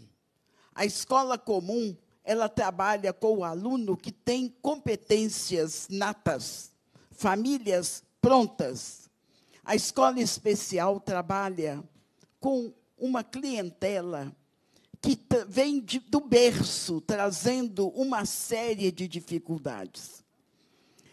Sonhamos com o que o senhor também está sonhando, que é os centros de educação especial. Eu fico triste quando vejo o senhor falar aí da escola de São Sebastião do Paraíso, que era o melhor centro de educação especial de Minas Gerais. Eu não posso falar do meu, porque aí seria orgulho, né? Mas realmente a gente tinha uma sintonia muito grande. Por que foi fechado? Porque incomoda. A escola, Centro de Educação Especial, ela é exigente. Ela traz do seu bojo questões de educação, integrada com saúde, integrada com o trabalho, para quê? Para que esse aluno seja olhado na sua globalidade. Naquele tempo, a gente não precisava muito dos ministérios, embora a defensoria começava a existir e a gente tentou fazer uma sintonia educação e defensoria para trabalharmos com as famílias de uma forma mais plena. A educação especial não pode trabalhar sem a família do lado. A família tem que estar inerente nós chegamos a ter, agora eu vou falar da minha escola porque é um orgulho. Chegamos a ter na minha escola 56 turmas com 1.200 alunos retirados das mais variadas comunidades de Belo Horizonte. Porque, como eu trabalho também na arquidiocese, eu via nas comunidades os alunos e encaminhava lá para a escola. Quanto aluno retirado de dentro de casa, guardado. Fui dessa escola especial dos surdos, porque lá estava uma calamidade. Aí o secretário me designou para estar lá, para fazer o um modelo do Yolanda. Mas foi um ano só. A diretora que elegemos não deu conta. Por quê?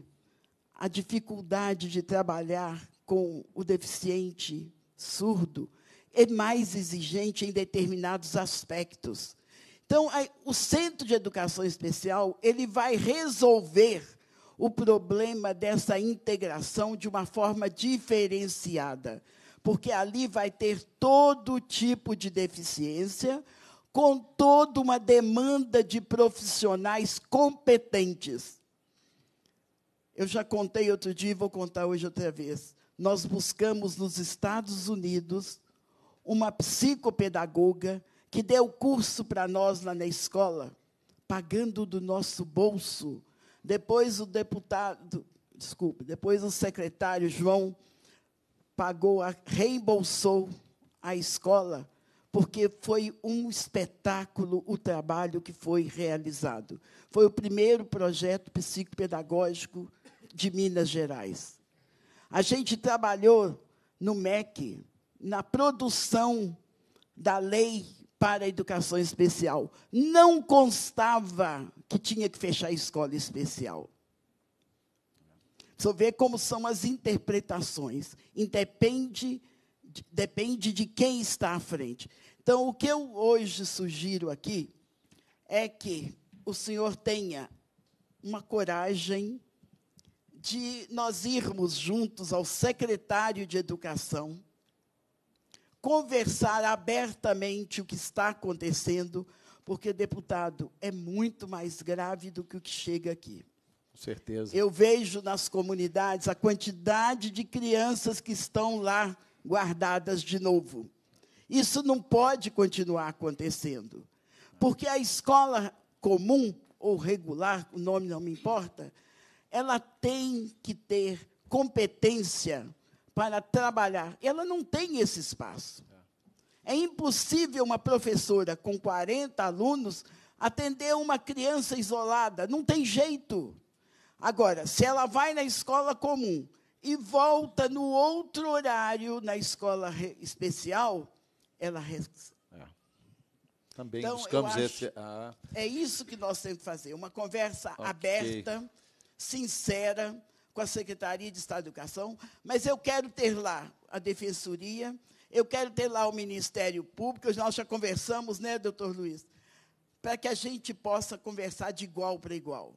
com certeza. É possível, sim, porque já existiu. Muito bem, dona Vilma. Muito obrigado, senhora.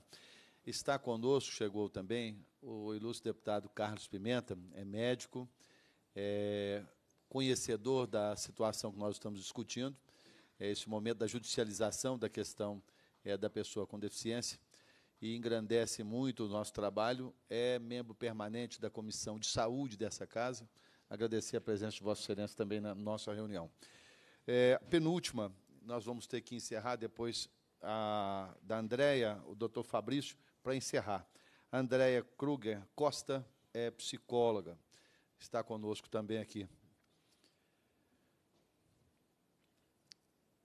Olá, boa tarde. Boa tarde a Boa todos. Como todo mundo, gostaria de parabenizar pelo momento. Acho que é de ah, grande importância, não precisa falar da, da relevância.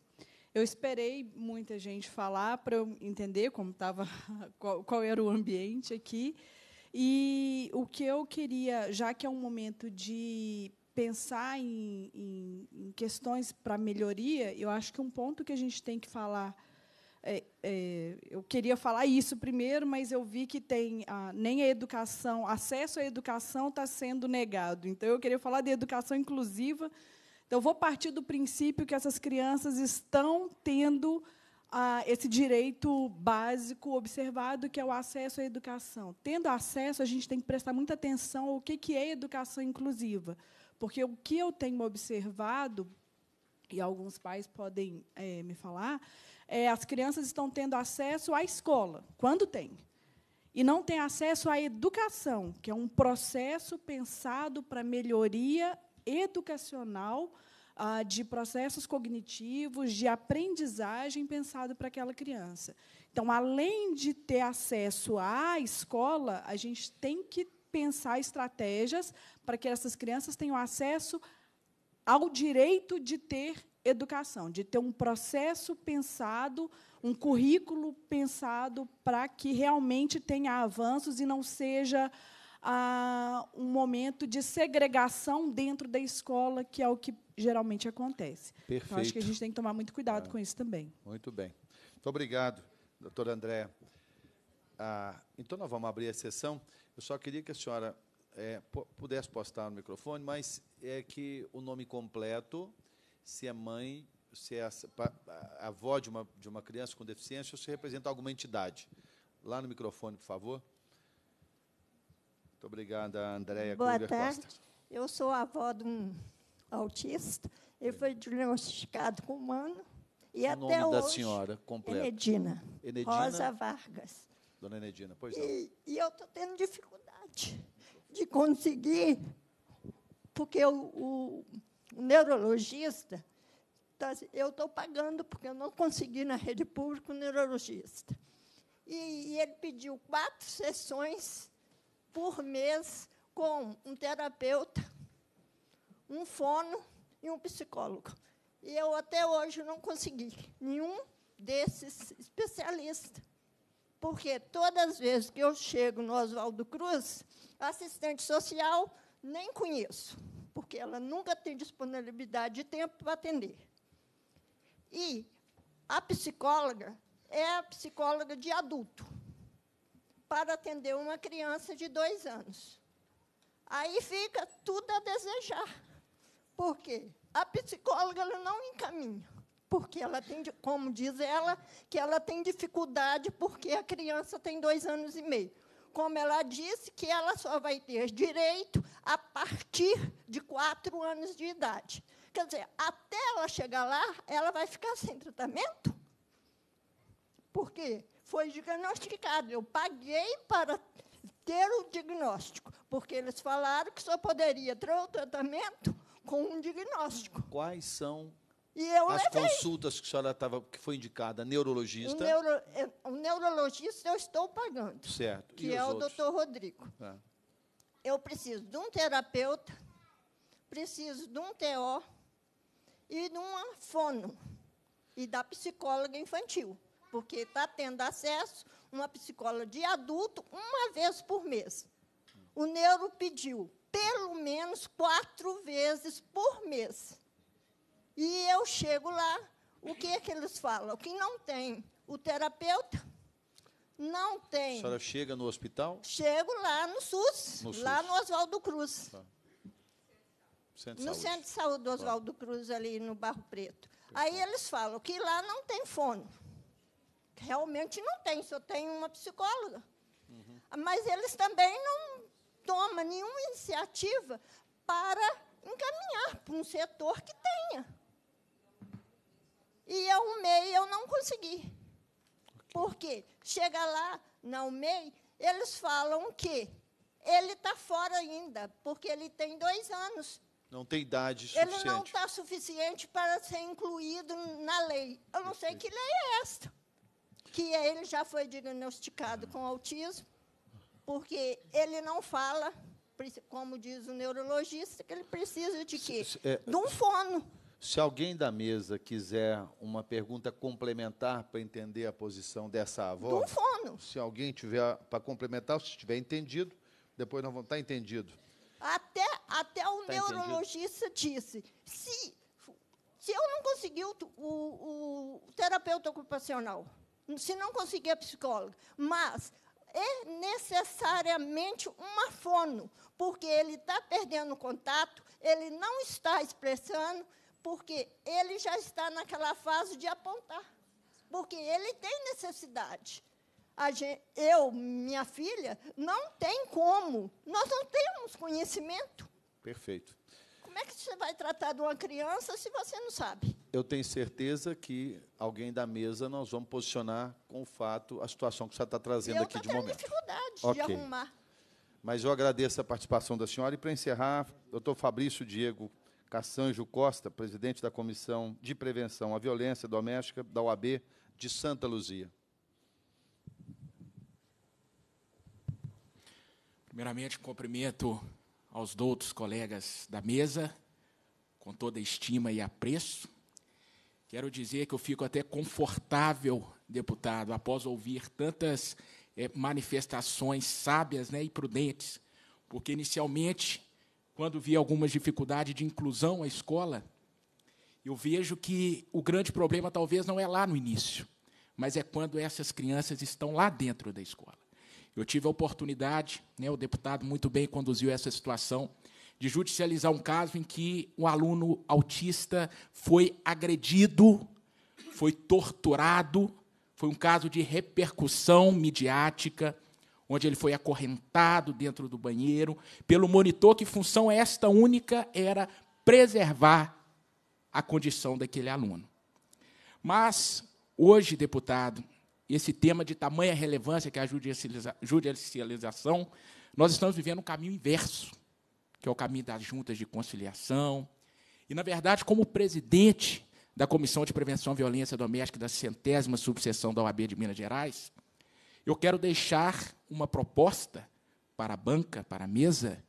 Hoje nós temos uma rede, e lá em Santa Luzia nós também não temos uma vara especializada no que diz respeito à viol da violência doméstica, mas nós temos uma rede de proteção que ela funciona com a doutora juíza de direito, com o Ministério Público, com a promotoria, né, com a delegacia de polícia civil que também não é especializada. E essa rede, ela funciona, deputado, pasmem, de forma em que essa morosidade ela está sendo contornada por uma junção e união de força dessas instituições.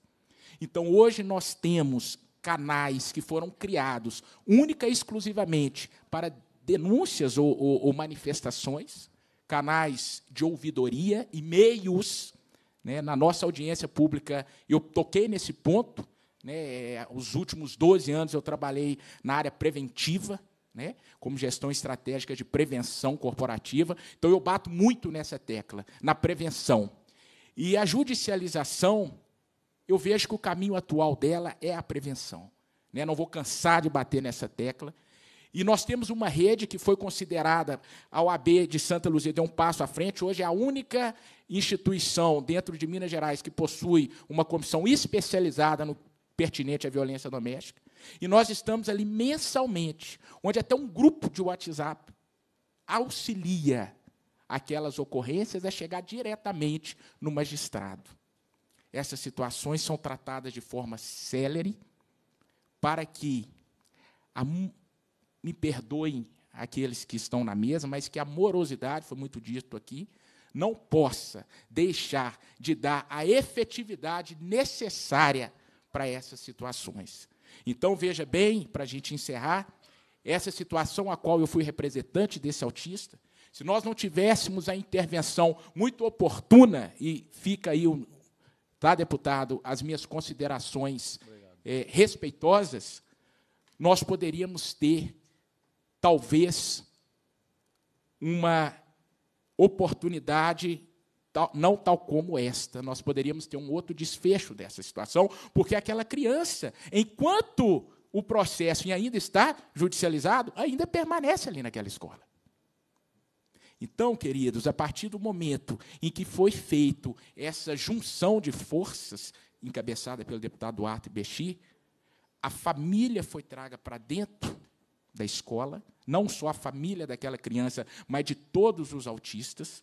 E aquela criança começou a ter um respaldo, um amparo especial, que talvez a tutela jurisdicional não, ter, não daria tempo de poder ter essa efetividade que teve. Então, o que eu quero deixar aqui para a gente encerrar é quais são, componentes da bancada, as ferramentas ou os instrumentos preventivos que nós possamos utilizar para esses pais aqui presentes, para, eu não digo substituir, mas para auxiliar a judicialização desses casos. Fica aqui a minha consideração, deputado. Obrigado, Obrigado. doutor Fabrício.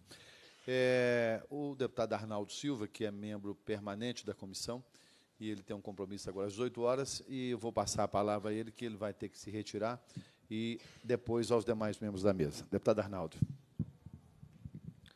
Obrigado, deputado Duarte Bechir. Quero saudá-lo, cumprimentá-lo pelo brilhante trabalho que vem desempenhando à frente da presidência desta comissão. Quero cumprimentar os deputados Antônio Carlos Arantes e Carlos Pimenta, cumprimentar também o desembargador Versiane Pena, em seu nome também, estender os cumprimentos a todos os demais integrantes desta mesa, saudar os participantes e anotei algumas questões, mas eu quero apenas trazer uma uma singela colaboração, no sentido de que primeira pergunta é: se nós estamos judicializando, é porque alguém não está cumprindo a sua parte. Esta é uma realidade. Então, nós precisamos focar talvez mais nas questões de efetividade, para que a gente possa implementar políticas públicas cada vez mais concretas, objetivas e bem definidas. Esse é um primeiro ponto. Nós temos uma vasta legislação, nós temos como exemplo, que já foi discutido aqui nesta própria comissão, a questão, por exemplo, das vagas de emprego para as pessoas com deficiência, assunto que foi também levantado aqui hoje, e que nós temos aí mais de 10 mil vagas de emprego no Estado de Minas Gerais. Mas nós não temos qualificação, capacitação, adequado encaminhamento. Então, nós não temos efetividade desta política pública. A lei existe, a vaga existe, mas essa vaga não chega, essa vaga não é completada. Nós temos questões que dizem respeito aí à educação. E um ponto crucial que foi colocado aqui. Acho que não basta também, da mesma forma, simplesmente ter a vaga na escola se nós não tivermos pessoas capacitadas e vocacionadas para essa atividade porque da mesma forma vai simplesmente cumprir uma estatística e nós vamos ter ali uma pessoa com deficiência sendo incluída numa escola que nós não sabemos se talvez é melhor ficar na, em casa ou ficar na escola, conforme for a situação e o tratamento que for dispensado a essa criança, a essa pessoa com deficiência. Nós não temos hoje, por parte, dentro desse conjunto de uma política pública concreta, sequer um banco de dados de estatística adequada. Eu falo porque a cidade de Uberlândia, que é uma cidade com um nível de organização muito grande, principalmente no campo da saúde. Vive também a questão da, da, da judicialização intensamente, mas nós não temos, por parte dos municípios, de modo geral, um banco de dados e estatística que possa identificar e, e, apresentar e apontar de forma muito bem clara e definida qual que é a dimensão dessa situação para que essa política pública seja realizada. Por último, também só para consignar, eu venho há muito tempo aqui na Assembleia destacando a questão da diferenciação do tratamento dos órgãos de controle que eu tenho acompanhado, deputado Eduardo Bechir principalmente como advogado e que militei muito nos pequenos municípios. Quando é um pequeno município, principalmente, que descumpre algo, que descumpre principalmente uma política pública necessária a ser realizada, o órgão de controle funciona rapidamente. Ministério Público, Tribunal de Contas e por aí vai. Mas quando nós vamos falar de Estado e União, esses órgãos de controle me parecem que não têm a mesma disposição em funcionar. E aí nós caímos no campo, por exemplo, dos medicamentos. Onde é que judicializa, onde é que bate a porta, primeiramente? No município. Muitas das vezes de competência do Estado ou até da União, alta complexidade, medicamentos caríssimos, onde é que vai estourar também a conta para pagar? Nos municípios. E eu pergunto, por que não compartilhar também desta mesma responsabilidade? Assistir coisas aqui na Assembleia que a gente jamais imaginaria que iríamos assistir. O Tribunal de Contas, por exemplo, ano passado aprovou as contas do atual governador, contabilizando como gastos e despesa de saúde empenhos.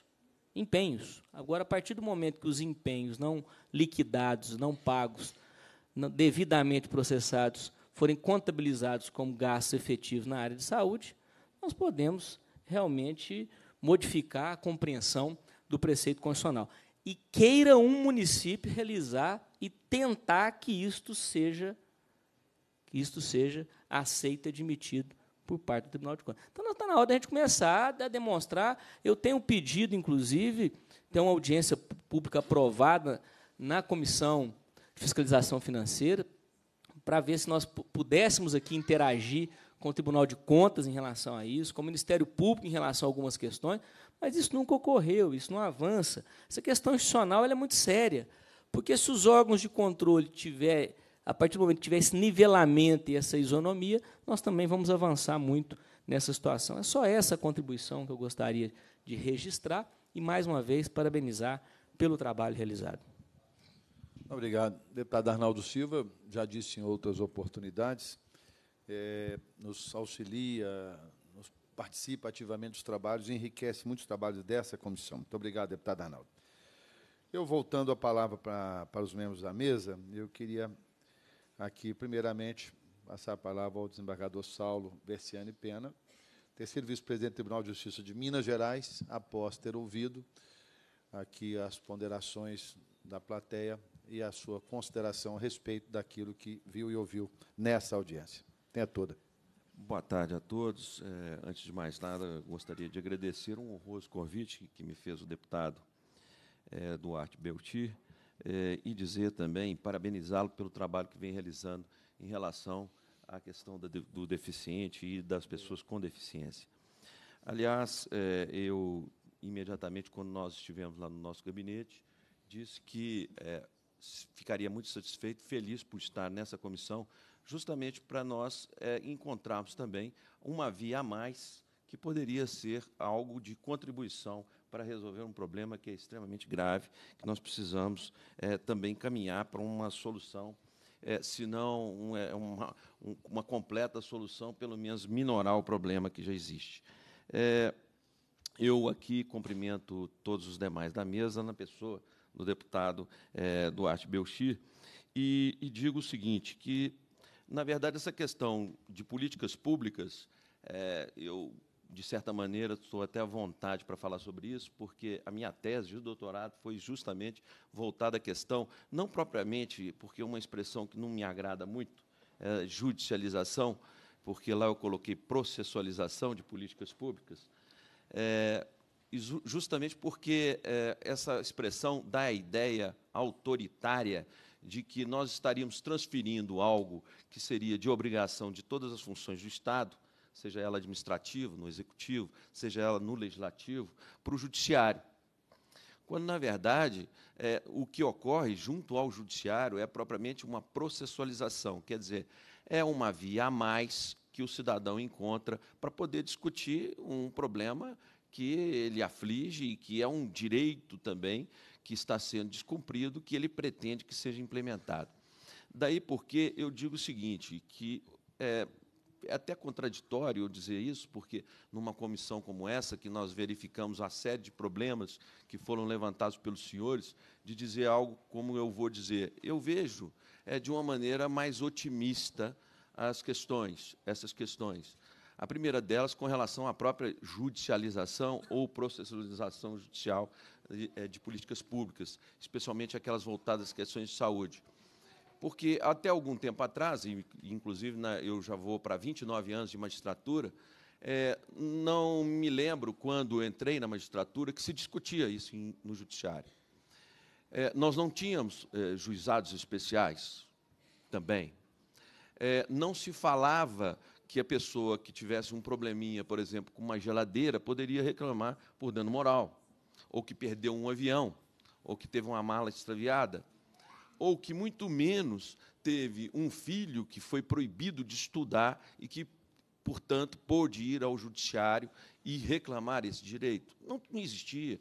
O que nós lidávamos no judiciário era algo é, muito mais é, privatístico, como, por exemplo, a questão locatícia, a questão de vizinhança, uso campeão, etc., etc. Então, eu vejo que a sociedade brasileira avançou. E não avançou não é porque houve, é, de repente, uma boa vontade dos governantes ou mesmo da magistratura, mas sim porque a, a população e a sociedade é, reivindicou, está implementando, procurando implementar os direitos que são salvaguardados na Constituição. E, com isso, trouxe uma demanda, e automaticamente, em função dessa demanda, o Estado tem que se aparelhar. É isso. E, portanto, eu vejo também com muita alegria uma comissão como essa, justamente porque procura se aparelhar o Estado, justamente para dar vazão a essa demanda que é extremamente é, preocupante. É, eu digo também que a questão é, relativa à política pública voltada à saúde, na questão propriamente é, da dos medicamentos, da questão das internações e etc., é, tem crescido, hum, evidentemente, de uma maneira extremamente, é, vamos dizer assim, assustadora. Né? O, o doutor Maurício, inclusive, ali, juiz auxiliar da terceira vice-presidência, é, me passou um relatório do CNJ, que, em números de 2017, já acusou um número de demandas no Brasil de 1 milhão 346 mil a mil processos de fornecimento de medicamentos, de tratamentos hospitalares, de assistência à saúde, convênio médico, etc. Quer dizer, pode parecer assim, poxa, é muito ruim. Bom, em termos, ruim porque é, de repente, se as pessoas estão reivindicando, como disse aqui o deputado, é provavelmente, certamente, alguém está descumprindo. Mas, por outro lado, nós criamos também uma outra via de acesso, como eu já havia me referido, para as pessoas poderem reclamar. Há também muita, no passado, sujeira debaixo do tapete.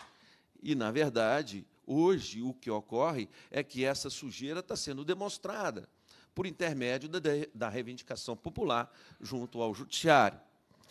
Muito bem, mas o fato é que é, o judiciário tem atuado dessa maneira também por uma visão, uma visão de inclusão a partir de uma releitura constitucional.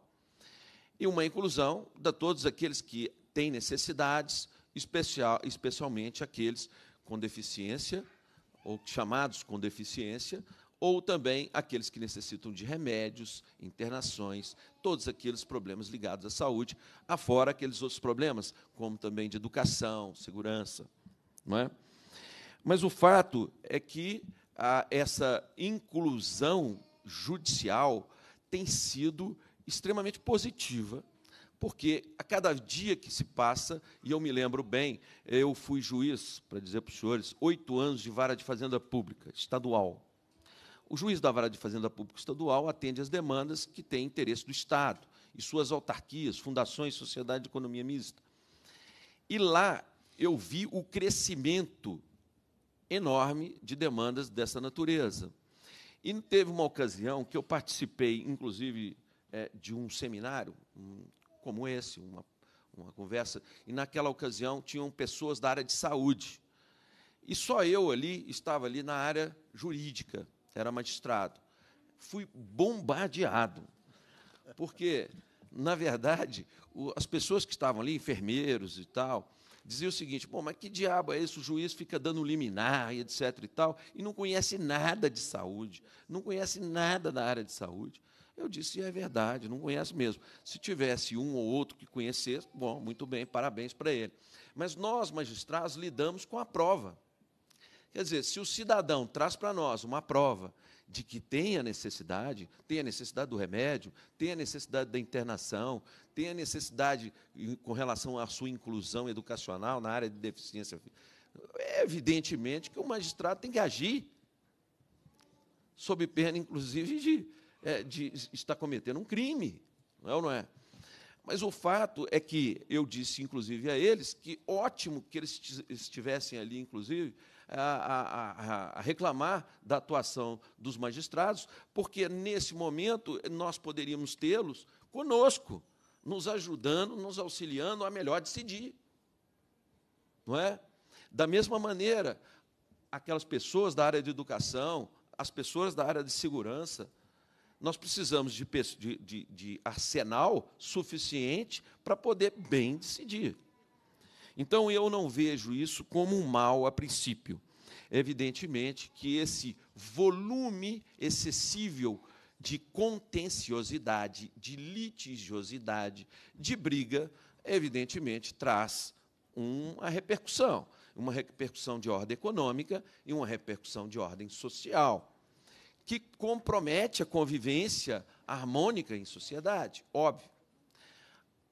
A primeira que eu disse, é, problema econômico, é óbvio, porque na medida em que nós tivermos mais processos, mais varas judiciais, mais juízes, mais servidores no judiciário, evidentemente que isso a sociedade paga. Além disso, temos um problema social, é porque, na medida em que há uma contenciosidade muito grande, nós começamos a observar também determinados abusos que são cometidos. Como disse aqui o deputado, de repente, o município precisa é, de é, ter a sua organização administrativa em relação à educação, em relação à segurança, e fica muitas vezes tendo que responder a processos, muitos deles, vou dizer aos senhores, indevidos.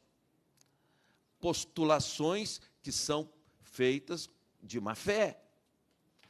Isso aí é algo que tem que ser visto com muito cuidado. Daí a necessidade de nós também gerenciarmos essa questão da judicialização ou da processualização excessiva.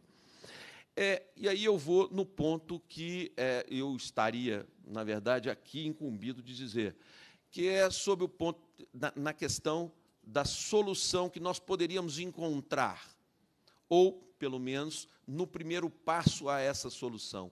Isto é, evitar uma contenciosidade, uma litigiosidade, que inclusive gera morosidade para aquelas pessoas que de fato necessitam, na forma da consensualidade. De que maneira? Com o auxílio, com a responsabilidade do Estado. É, a terceira vice-presidência do Tribunal de Justiça, diferentemente de qualquer outro tribunal da, do, do, da União, é, está ligado à terceira vice-presidência, o NUPMEC, que é o Núcleo Permanente de Métodos Consensuais de Solução de Conflito, que hoje é uma realidade, a partir, inclusive, da nossa administração, como órgão efetivo do tribunal. É como se fosse uma Câmara, como se fosse uma diretoria do tribunal, como se fosse realmente um órgão administrativo do tribunal. Está lá previsto. Qual é a importância disso? Apenas normativa? Não. Há uma necessidade de que ele seja dotado de pessoal, há necessidade de que ele seja tenha orçamento próprio para fazer o quê? Para dar auxílio aos chamados sejusques, que aqui disseram o seguinte, bom, é, o doutor Saulo está aqui até para falar de mais uma vara né, relativa à questão do, do, deficiente ou daquelas pessoas que, de, com deficiência. Na verdade, não é isso. O que eu, pelo menos, é, gostaria que ocorresse é que o deficiente fosse atendido pelos nossos sejusques, espalhados pelo, em todo o Estado. Né? E os sejusques são os órgãos de execução, centros judiciários de solução consensuais de conflito, ligados ao NUPMEC, que é o órgão de administração. Os sejusques têm um juiz coordenador que dá o atendimento pré-processual, isto é, daquelas demandas onde que já há uma possibilidade de acordo e as pessoas vão lá para que o juiz homologue, e daquelas demandas que já estão em juízo, processuais, e que há uma possibilidade de acordo e que são levadas aos sejusques e lá, com o auxílio de conciliadores, com o auxílio de mediadores, se faz o acordo, que é homologado. Vantagem: a primeira, a diminuição da contenciosidade. Óbvio. Segundo, a diminuição do custo com economia de dinheiro público. Em terceiro, a diminuição do problema social, com a espera de um processo, com a expectativa frustrada e mais com a sensação de que a norma jurídica, que inclusive aprovada na Casa Legislativa, não teve eficácia. Portanto, é, o Sejusc é hoje um órgão ligado ao NUPMEC, do tribunal, que dará possibilidade de dar essa execução. E de que maneira? Bom, além dessa questão processual e pré-processual, que hoje nós, inclusive, temos parceria, que são muitas coisas, não dá o tempo aqui, eu não quero é, me tornar cansativo. Mas, a verdade, nós temos parcerias, inclusive, com o NAT, que é o sistema, que é o núcleo é, do tribunal que lida com essa questão de saúde, medicação, internação, etc., que está à frente o, o desembargador Renato Dresch que é inclusive membro do órgão nacional do CNJ.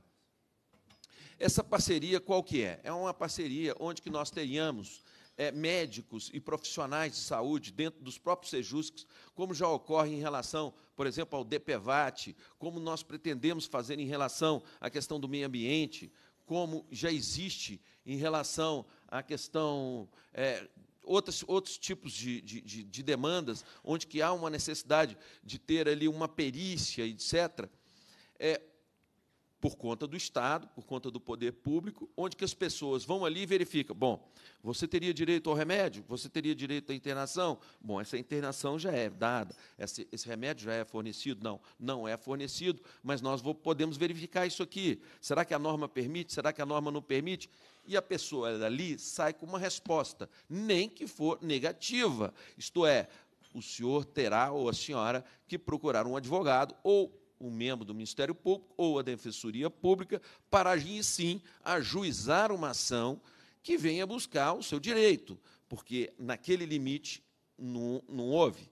Agora, a grande maioria das demandas, penso eu, pela experiência que nós já temos tido, há possibilidade de solução consensual.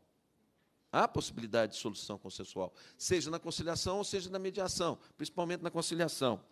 Portanto, os sejusques é, teriam essa função tanto do caráter pré-processual como processual, como também na questão que eu chamo a atenção dos senhores, porque na sua é, idealização originária do Sejusc não havia esse C no final, e esse C é de cidadania. E, portanto, hoje o judiciário ele tem a responsabilidade também de conferir cidadania, que pressupõe dignidade às pessoas.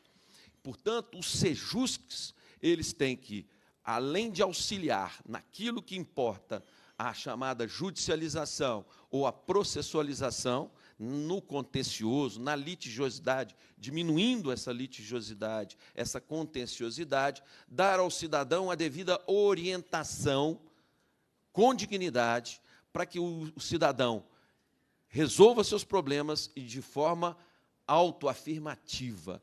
Aquilo que chamam, inclusive, os conciliadores e mediadores, o chamado empoderamento do próprio cidadão para poder solucionar os seus problemas. Isso precisa, sim, de contar com o auxílio e o apoio do Estado. O Estado, eu estou dizendo, num sentido geral, inclusive do Judiciário. Portanto, é, a parceria que nós podemos realizar, deputado, é justamente essa, de desenvolvermos o projeto, e um projeto que se iniciaria na, na outra assessoria que nós temos, na terceira vice-presidência, que é a assessoria de gestão e inovação, onde se começa um projeto inovador, para depois conferirmos aos Sejusques a efetividade executiva do atendimento àqueles deficientes ou às pessoas com deficiência, que têm o problema não só de acessibilidade, como também da, da questão da escola ou da educação. Tudo isso, aliás, um depoimento maravilhoso que a senhora deu. Mas o fato é que nós precisamos avançar e seguramente avançaremos. Eu, apenas para concluir, eu digo aos senhores o seguinte: eu não me considero tão velho assim, mas eu me lembro, mas eu me lembro ainda como menino, meu pai tinha, e também todos nós, acho que eu acredito que é difícil uma família que não tem problem, um problema na família de deficiência, seja, seja ela mental ou física, o que for, mas eu me lembro bem meu pai tinha um parente no Rio de Janeiro e com recurso financeiro. A família tinha recurso financeiro, mas que escondia o deficiente mental, o deficiente físico. Não se mostrava sequer. Saía da sala de visita. Não é? Era como se fosse uma verdadeira peste. Os tuberculosos eram isolados. Tuberculoso não é? Há pouco tempo nós tivemos os aidéticos, que eram absolutamente discriminados, não é? E tive, eu, minha mãe, e só para dar mais um depoimento, tinha uma grande amiga que tinha dois filhos com problema de síndrome de Down.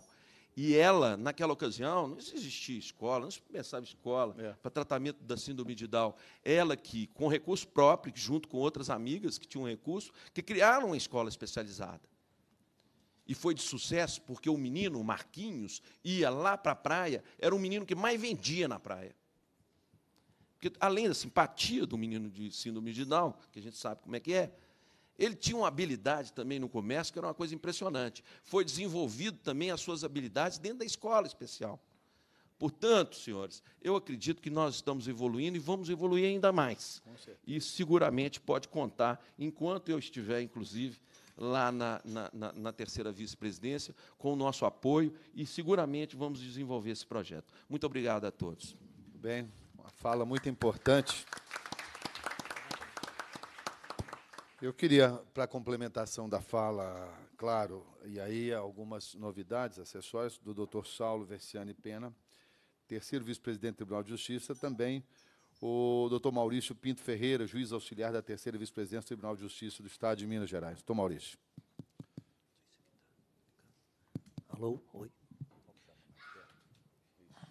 Bom, boa noite a todos. É, excelentíssimo deputado Duarte Bexia, é, presidente dessa honrosa comissão, quero também, em nome pessoal, agradecer a este convite, que muito me engrandifica em aqui estar e poder falar um pouco do, do Tribunal de Justiça do Estado de Minas Gerais. Na pessoa de Vossa Excelência, quero cumprimentar todos os é, participantes da mesa e todos os que aqui se encontram. É, eu estava aqui a pensar, com essas falas dos senhores, ouvi aí em efetividade, ouvi falar em criações de vara, ouvi falar em somar forças. Estava aqui pensando quando Miguel de Cervantes falava que o sonho que se sonha só é apenas um sonho, mas quando é, se sonha juntos é o começo de uma realidade. E pensei nisso porque acho que nós estamos aqui hoje começando a sonhar juntos e quero dizer aos senhores todos que o Tribunal de Justiça de Minas Gerais não se preocupa apenas com os seus processos ou apenas com a questão da judicialização. O Tribunal de Justiça, já há alguns anos, com a também posse do desembargador Saulo, junto à terceira vice, tem desenvolvido vários projetos de estar próximo ao cidadão, de estar junto ao, ao seu ao seu jurisdicionado para solucionar efetivamente aquela questão. Não estamos só buscando que não se que evite a judicialização. É muito mais que isso. É um projeto é, de cidadania, de dar ao nosso povo brasileiro, ao nosso povo de Minas Gerais, é, acima de tudo, efetividade ao seu direito de cidadão. Nós aqui falamos é, na questão da pessoa com deficiência, mas também falamos da questão da educação, falamos em outras tantas questões que, no fundo, soma-se em falta de cidadania que nós estamos tantos a, tanto a precisar. O Tribunal de Justiça tem instalado, nesses últimos anos, e nós temos hoje em funcionamento, 120 Sejusc em todos os estados de Minas Gerais, e estamos é, instalando, pretendemos instalar Sejusc em todas as comarcas do estado de Minas Gerais. Nas nossas 256 comarcas, teremos Sejusc. Sejusc é uma abreviação de Centro Judicial de Solução de Conflito e Cidadania, como bem disse o desembargador Saulo Versiani.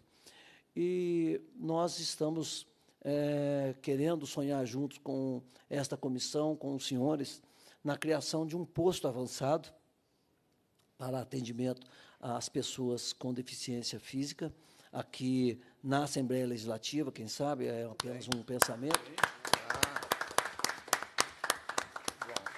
E o que significa isso? É, foi aqui falado em criação de vara, e o desembargador Saulo bem explicou. Não, eu estou há 26 anos mais estatua, desembargador há um tempo, e tenho, tenho visto que nos 26 anos parece que a grande demanda é criar vara, criar vara, e isso nós estamos sempre chovendo no molhado, gastando mais do nosso dinheiro público e gastando mal de forma errada.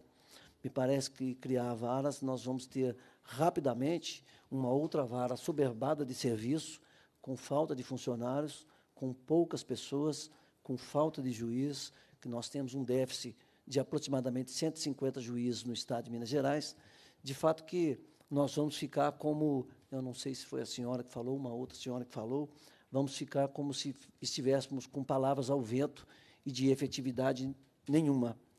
Então, nós, o Tribunal de Justiça de Minas Gerais tem solucionado essa questão criando esses sejusques. Nós homologamos ao ano passado, no ano de 2017, aproximadamente 180 mil casos pré-processuais. São, são pessoas que procuraram os nossos sejusques é, sem judicializar. Nós, nossos sejusques, nós estamos com pessoas capacitadas com mediação e conciliação para fazer audiências de conciliação e mediação, independentemente da propositura de um processo judicial, e temos conseguido é, um percentual de 95% a 96% de acordo nesses casos. E acho que Minas Gerais, é, aliás, não acho, tenho certeza, Minas Gerais tem dado exemplo a essa nação, e não é de hoje, é de muito tempo, de muitos anos, de séculos. É, basta como exemplo a Inconfidência Mineira, e acho que Minas Gerais dará um exemplo é, com esse posto avançado aqui na Assembleia Legislativa, para que nós possamos ter um atendimento à pessoa necessitada, que os senhores possam ter um local onde serão bem atendidos, onde serão bem ouvidos e onde serão é, terão suas demandas. É, nós teremos uma busca de solução para essas demandas, independentemente da judicialização, porque judicializar a grande verdade é que não, não adianta. Para nós, juízes, é muito mais fácil hoje fazer uma sentença, porque nós temos computadores, temos sistemas, temos informática, vamos, é, como se fazem por aí, salvar e colar e salvar e colar, mas nós temos visto, segundo o CNJ, uma, um processo é, é, que não obedece ao princípio constitucional da razoável duração do, seu, do processo. Um processo que gira em torno de 10 anos para solucionar, não é processo é, é muito mais um exemplo de falta de cidadania. E eu quero dizer aos senhores que o Judiciário Mineiro se preocupa com a agilidade dos seus processos, se preocupa em resolver o problema do nosso cidadão. O Judiciário Mineiro não se preocupa em apenas e tão somente é, como solucionar a grande demanda, se preocupa, sim, em efetivar o direito de cidadão, o direito de cidadania que os senhores tanto buscam, que é a nossa obrigação como servidores públicos é, fazer. E nós temos hoje grandes, muitas parcerias nos nossos Sejusc. É, nós tivemos recentemente, foi há cerca de é, 60 dias atrás, duas grandes companhias é, de planos de saúde nos procuraram. É, o desembargador Saulo há de até lembrar, talvez tenha é, não comentado mais para não se falar sobre esse assunto, mas as companhias também hoje estão vendo que a grande, o grande caminho é a conciliação. O grande caminho é resolver o nosso, nossa, a nossa questão.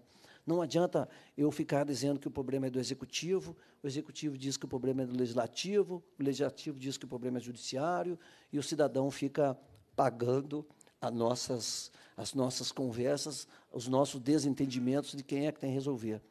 No posto avançado, eu acho que nós podemos ter um representante da Assembleia Legislativa, um representante, é, um mediador, um conselhador capacitado pelo Tribunal de Justiça, um representante da Defensoria Pública, da OAB, do, da Secretaria de Educação, da Secretaria é, de Saúde.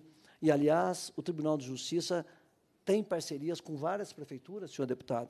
Várias prefeituras já no interior já nos procuraram e nós temos essa parceria de forma que algumas prefeituras é, têm colocado pessoas que entendam de medicamento para quando há uma demanda nós verificarmos se de fato aquele medicamento é eficaz, se de fato aquele medicamento, se há um genérico, se não há um genérico. O Tribunal de Justiça tem é, dioturnamente pensado, pensando é, em como solucionar de forma efetiva para o nosso cidadão mineiro. É, o Tribunal de Justiça é, não está já, graças a Deus, é, não está mais atrás de uma mesa, nos seus gabinetes e despreocupado com o que acontece na sociedade. Muito ao contrário, o tribunal tem se empenhado a uma determinação do desembargador Saulo, do nosso presidente, para que nós possamos antecipar as questões. Não há mais aquele pensamento, e isso é no próprio judiciário brasileiro, não há mais aquele pensamento que nós vamos esperar que ah, o cidadão judicialize, quando aqui chegarmos o processo, nós vamos tramitar todo esse processo com essa morosidade. Esse pensamento não há mais em nenhum juiz do território brasileiro e especificamente dos juízes mineiros. Nós, querer, nós queremos, sim, atender de forma rápida aos cidadãos. E penso que essa noite podemos começar a sonhar juntos com esse posto avançado. Tenho certeza que há um bom há um bom pensamento é, do, do Executivo, há um bom pensamento do Executivo, do Ministério Público, Defensoria Pública, OAB, de todos nós, para que nós possamos é, efetivamente sonhar juntos e resolver as questões das pessoas mais necessitadas é, que aqui ouvimos. É impossível pensar é, que uma mãe tem que deixar o seu a fazer porque tem que pagar ônibus sem ter condição de pagar ônibus, tem que comprar medicamentos sem ter condições, enquanto é, nós estamos empurrando a, a questão para o próximo. A questão é de todos nós. E o Tribunal de Justiça de Minas Gerais tem essa determinação para que nós unamos forças a todos os senhores na busca de uma solução efetiva, de uma solução rápida e de uma solução, acima de tudo, é, concreta para que nós possamos, sim, efetivamente ter orgulho de dizer que somos cidadãos brasileiros, ter orgulho para dizer que somos cidadãos do Estado de Minas Gerais. Muito bem, obrigado.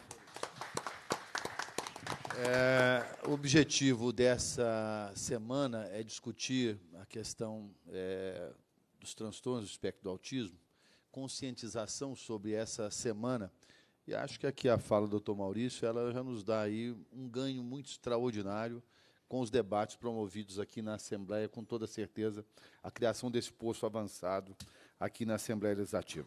Quero passar a palavra ao doutor Estevam Machado de Assis Carvalho, coordenador da Defensoria Especializada do Idoso e da Pessoa com Deficiência.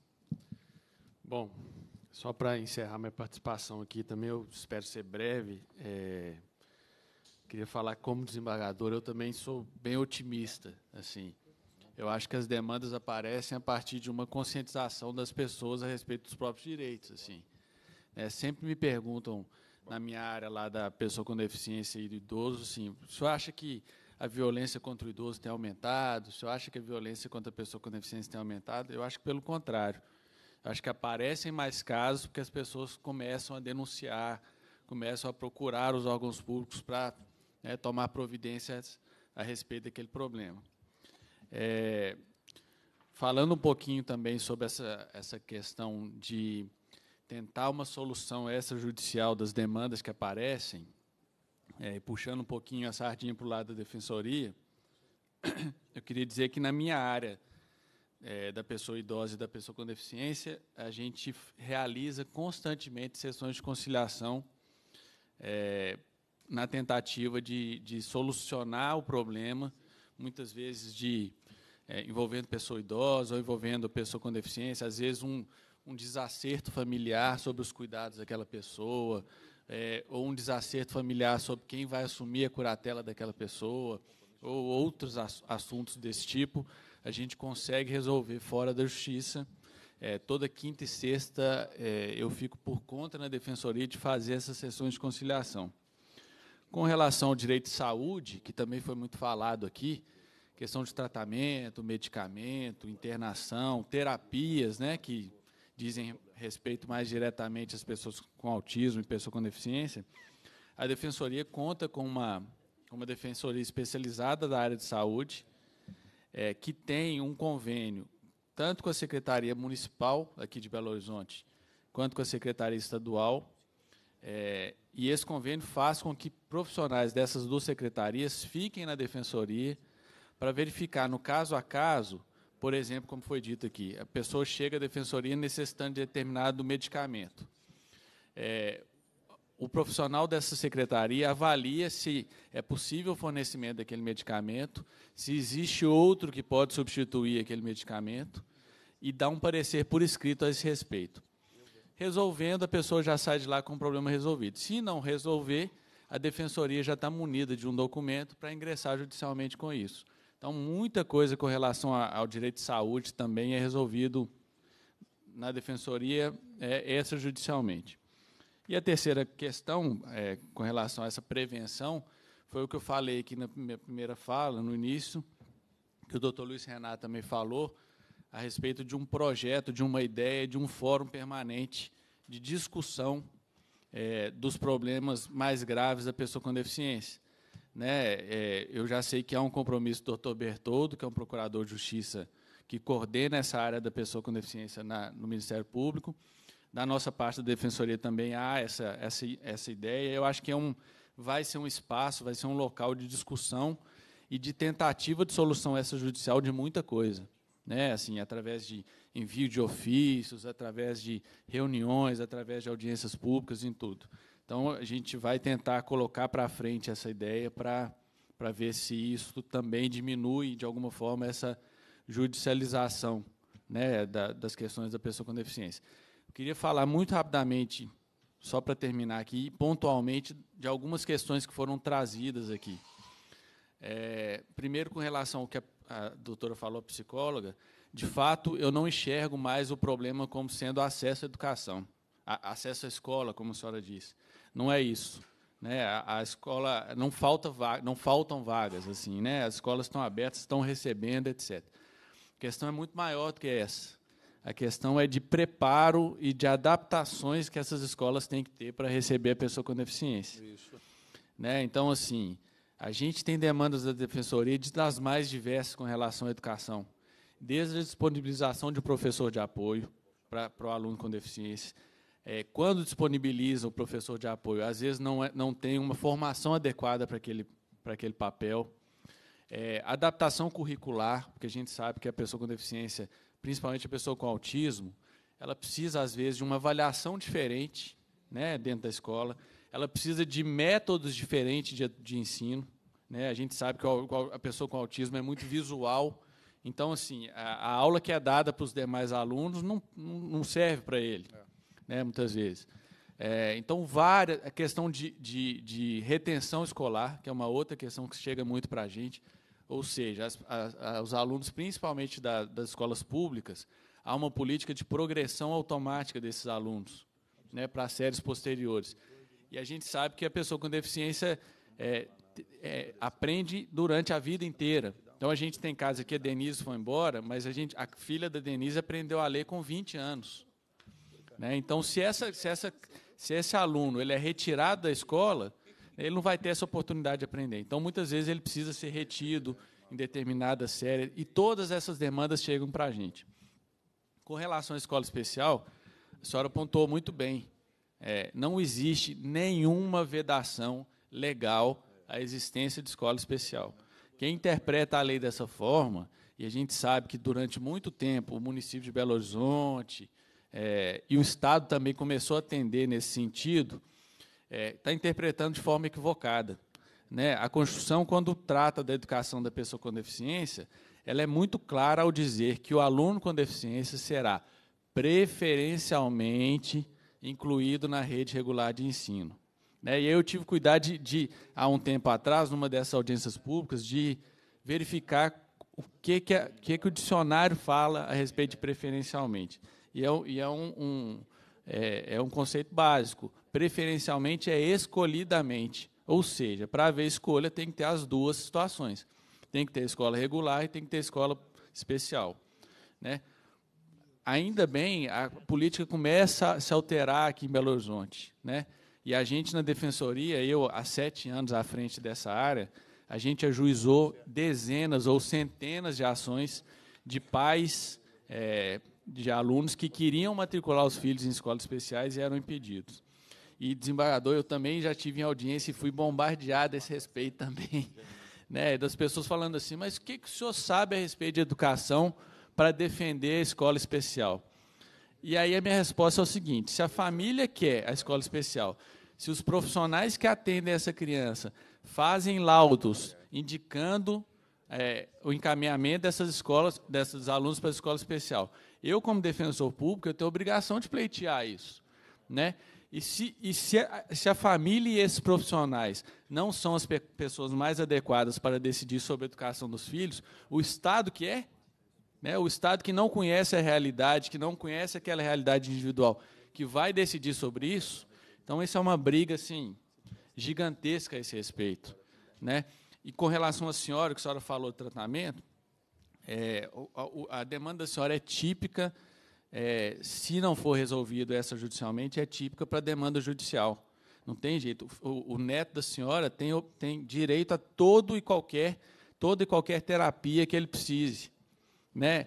É, e aí é uma outra, uma outra questão que é o seguinte: existe uma lei em Belo Horizonte é, que prevê a criação de um centro de tratamento para pessoa com autismo.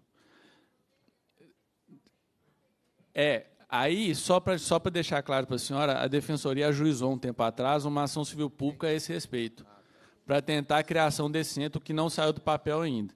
Mas no caso específico da senhora, se está havendo uma negativa do poder público de fornecer as terapias que o seu neto precisa, a senhora tem que procurar resolver isso em último caso na justiça. Né? Não tem jeito. É, é porque se a senhora falasse ao microfone, é, não está gravando e o documento que precisa produzir o texto não vai estar disponível. Eu pediria para o senhor, por favor, pegar o microfone aqui sem fio com a doutora Mariana. Só, só enquanto ele, ele tá não, ligado. Enquanto ele não pega, uma outra tá. questão que também é muito recorrente para a gente é a questão do tratamento público para a pessoa com autismo. E por isso, talvez, a necessidade da criação desse centro. Porque as pessoas com autismo, a, a, a experiência que a gente tem é que são encaminhadas para os tratamentos da saúde mental, em regra em regra. E eu já conversei com um psiquiatra que é né, especialista na questão de autismo, e ele fala que a, que a política é, de saúde para saúde mental ela é a, o avesso do que o, o, a pessoa com autismo precisa. E é muito fácil a gente entender isso. A pessoa com, com, com algum problema de saúde mental, o tratamento é para diminuir diminuir os sintomas daquela, daquela, daquele sofrimento mental. Para o autista é o contrário. Ele tem que ser estimulado a se desenvolver. Né? Então, a, a, o tratamento da saúde mental não atende a pessoa com autismo adequadamente. Mas só para deixar claro para a senhora, a senhora tem que procurar os meios legais para tentar resolver isso. Não existe isso de a partir dos cinco anos, a partir dos seis anos que ele tem direito, não. Muito pelo contrário. Né? Já foi dito aqui que quanto mais cedo o tratamento do autismo começar, mais esse, nessa pessoa vai se desenvolver. Então, só para terminar, é isso. Assim, eu queria mais uma vez agradecer o convite e colocar a defensoria à disposição para o que for necessário. Mas como que eu chego na defensoria para que eu vou pratear o direito dele ter um, um fono, né? Pelo que o terapeuta, o, o neurologista deu, como ele com um ano e meio ele tinha autismo, ele tem, né? Não Uhum. tinha, ele tem autismo. Para ele desenvolver a fala, ele precisa pelo menos quatro vezes Sim. por mês, quer dizer, uma vez por semana. Para ele desenvolver a fala, ele falou prioritário um fono, Uhum. porque ele precisa de quatro especialistas. Mas se o, o, o Estado, né, Secretaria, desse pelo menos o fono É, quatro vezes É, por mas é- mês, Uhum. já resolveria um pouco para ele desenvolver a fala, porque ele ainda está com dois anos e cinco meses. É o que ele disse. Se eu for deixar Uhum. ele chegar aos três anos, ele já pode ter uma perda muito grande e não vir a falar, Sim. Isso. Porque ele não tem incentivo nenhum. Sim. Eu não consegui escolinha no MEI. Por quê? Eles disseram que ele não ele ainda por ter dois anos, eu posso ainda esperar. É, Para que ele não tem vaga perto da minha casa, então eu posso ficar esperando. Bom, então vamos lá. Com relação à defensoria, a defensoria tem tanto a área de saúde quanto a área da pessoa com deficiência. Só a senhora procurar diretamente a defensoria que a senhora vai receber toda a orientação. Né? É ali perto do Perto no do Bar fórum, Preto? É, perto do Fórum Lafayette. É ali por trás, na Guajajara. Exatamente, na Guajajara. Exatamente ali. Aí é só eu chegar lá Isso, e, a senhora e vai ser encaminhada. Defensoria Isso, Pública. a senhora vai ser encaminhada para o setor correto e vai receber orientação, o que, que precisa de documentação, etc., para isso. Né? Com relação ao MEI, ele tem direito à vaga compulsória, que a gente fala. Né, o, né, da A partir Eles de que têm- idade, doutor? ele- a partir do- a- a- desde a da, da pré-escola, É, é porque estão alegando infantil. que, no caso dele, ele não tem idade suficiente, ele tem dois anos e meio. Ele tem Não, dois anos. mas e já meio. tem. Ele Já tem idade? Já, já Ah, tem idade. Então, já tem, eu já tem procurei idade. então a senhora vai requerer tem. também a, A vaga. a vaga Aí eles, compulsória. a, lá, a diretora alega Ah. o quê?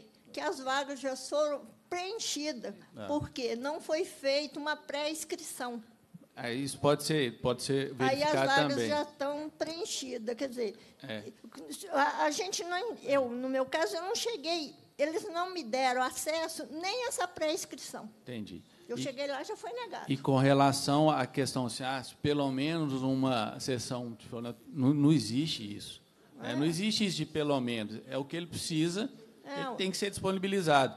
Então, o que, eu, o, que eu, o que eu oriento a senhora, de antemão, é a senhora pegar com esse neurologista que o atende um relatório pormenorizado de todas as terapias, a quantidade, a frequência, etc., que ele precisa, porque tem que ser pleiteado isso, porque é Eu isso já que vai peguei, atender. Eu já peguei. Pois é. Hoje eu tive lá no centro de saúde, aqui é que a assistente social virou e e me disse: você vai, ele vai ter o direito uma vez, dia 30 de abril. Pois é. Então, E aí, mas o, o neurologista disse que ele precisa de quê? Quatro. Pois é. Aí ela falou: não tem disponibilidade. Pois é. Então, a senhora tem que procurar a defensoria mesmo para a senhora receber toda a orientação do que, tem que ser feito. Tá? Combinado. Então, então é isso, deputado. Eu queria só reiterar o agradecimento Tá. e colocar à disposição. Ok, nós é que agradecemos. Eu queria que a TV focalizasse aqui à minha direita a Esther Tiburcio Rosa. Ela, juntamente com o Ednilson, eles fazem a tradução para quem está em casa e acompanhando ao vivo os nossos trabalhos. Então, agora está trabalhando conosco o Ednilson. Ednilson, um abraço. Obrigado aí pela participação. E também está conosco aqui, na primeira cadeira, a Esther Tiburcio Rosa, que também nos ajuda na transmissão em casa, nessa tradução. Obrigado, muito importante o trabalho de vocês. E destacar aqui que o presidente Adalclever Lopes eh, facilitou a contratação e isso tem dado um resultado extraordinário, porque em casa as pessoas acompanham o nosso trabalho e conseguem interagir conosco. E na próxima segunda-feira é a primeira reunião que será transmitida ao vivo com a participação de casa. As pessoas poderão ligar ao mesmo tempo, participar conosco através das redes sociais e nós vamos interagir o primeiro projeto piloto da Assembleia ao vivo interagindo conosco. Será na próxima segunda-feira. Obrigado a você, Esther e Ednilson, por participarem conosco e a todos aqueles que estão em casa acompanhando agora o nosso trabalho. Eu queria passar a palavra para o doutor Luiz Renato Braga Arias Pinheiro, defensor público, aqui o último à nossa direita. Doutor Luiz. Presidente Duarte Bexi, agradeço a palavra. É, acho que o doutor Estevam ele foi bem completo na, nas explicações, mas tem algumas ponderações que eu queria fazer. É, primeiramente, a gente estava discutindo muito a necessidade da celeridade dos julgamentos, né, desembargador Sal, é, principalmente em, em, consideração às demandas de saúde, de tratamento. Porque a gente sabe, é, falando especificamente do, da pessoa com autismo, que é necessário é, as terapias de quanto mais precoce, melhor. Né? E aí eu acho fantástica essa ideia do, do Sejusc, absorver é, essas demandas, mas eu coloco uma preocupação e uma, uma ideia a ser compartilhada, acho que entre todos os atores né, do sistema de justiça, é que eu acredito que a capacitação, é, tanto dos conciliadores ou dos mediadores, ela tem que ser é, de, feita de uma forma sistemática por causa da matéria. A gente está discutindo hoje direitos que eles precisam ser afirmados ainda. Né? E aí a minha preocupação, por exemplo, na fase pré-processual, em que a parte da grande maioria vai desassistida de advogado ou defensor público, eu acho que talvez, não sei, é, o apoio do NATS, né, que vocês falaram, ou, ou a gente pensar numa alternativa é, doutor Maurício, é, você falou bem da união de forças, às vezes, não sei, de pensar uma alternativa de criar um, um termo de comparação técnica entre Defensoria, Ministério Público, OAB, no intuito de atuar também nessa fase é, pré-processual, de especialização nisso, ou criar nesse SEJUSC, é, porque a ideia é sensacional de você absorver as demandas, ao invés de criar a vara especializada. Eu concordo também, eu acho que talvez a vara especializada no primeiro momento, ela pode atender a expectativa, mas ela vai virar uma bomba. Até mesmo porque as demandas de outras varas irão cair nela e talvez é um tiro no pé. Né? Eu acho que talvez seja um tiro no pé. Mas o que eu acho que ele precisa ser, no caso específico, por causa da natureza do direito, eu acho que ele precisa ter uma atenção especial para a capacitação tanto dos servidores, dos conciliadores, e também dos atores é, da justiça. Né, eu acho que talvez a gente pensar numa alternativa de um pensamento de estruturar algo nesse sentido. É, eu acho que seria fantástico a ideia de se criar o posto avançado aqui na Assembleia. Acho que é muito boa. Acho que a partir daí, eu acho que seria um piloto, talvez, do da gente expandir isso para o para o interior, enfim, essa capacitação do direito da pessoa com deficiência, porque eu fico preocupado de, às vezes, é, por falta até mesmo de conhecimento técnico geral, é, de o assistido ele não, não ser bem representado, eu digo, nessa, principalmente nessa fase pré-processual. E, às vezes, o conciliador ou o mediador, como o tema é vasto e as deficiências são múltiplas, né, as necessidades são múltiplas, às vezes não tem aquela firmeza, principalmente na conciliação, que a gente sabe que é um método que há a possibilidade de do conciliador dar opinião, enfim, tentar é, con convencionar um acordo, de não ter o preparo é, suficiente para conduzir é, essa conciliação. No caso da mediação, nós bem sabemos que a natureza é diferente, ele é mais preside uma relação e as partes chegam em acordo é, por elas mesmas. Aí eu acho mais importante a necessidade da, da participação da Defensoria Pública, do Ministério Público ou, e do, dos advogados, para dar aquele substrato jurídico também que o mediador ele tem que ter aquela posição isenta, né, no caso imparcial, é, para conduzir de forma correta a mediação. Então, fica aí é, a, o, a, sugestão para a gente pensar numa adaptação do que o que possa resolver essa questão da celeridade, né, é, no, principalmente nas demandas de saúde, mas que a gente tenha a capacitação de todos. Não falo só dos conciliadores, não. Eu falo de todo mundo mesmo, da, dos membros da Defensoria, do Ministério Público, dos juízes, para essa demanda, que é uma demanda é, específica, para que também não fique inócua. Né? A gente, às vezes, tem o acesso à justiça e esse acesso ele não ser é, satisfatório por uma falta, talvez, um conhecimento mais aprofundado devido à diversidade da, das demandas é, da pessoa com deficiência. Né? Então, fica aqui a minha, a minha sugestão. É, queria colocar também, é, é, doutor Carlos Pimenta, é, com, o senhor é médico e é, presidente da comissão né, de saúde. É, eu tive o prazer de completa um ano que nós fizemos aquela audiência pública ano passado, é, também na semana da conscientização do direito da pessoa com autismo, é, é, debatendo as políticas públicas, as questões dos hospitais. Uma coisa que sempre é, me fez refletir, e aí é, essa questão da educação ela é muito recorrente sempre nessa discussão, eu sempre defendi a necessidade de você ter a política pública de saúde ligada à educação.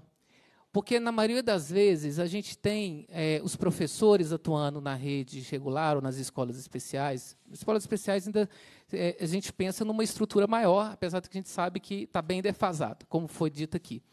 Mas, às vezes, o professor identifica, por exemplo, que aquele aluno possa ter autismo, ou que aquele aluno possa ter alguma outra deficiência, e a gente esbarra na questão da burocracia é, de ser encaminhado para a rede pública de saúde. E não há uma, uma interrelação entre a saúde e a educação.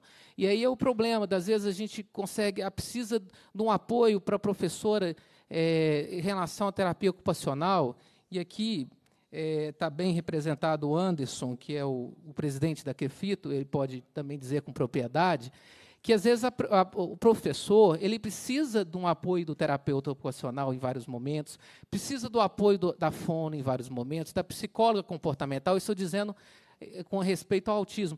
E às vezes nós temos essa dificuldade exatamente de, de congregar essas, essas duas esferas.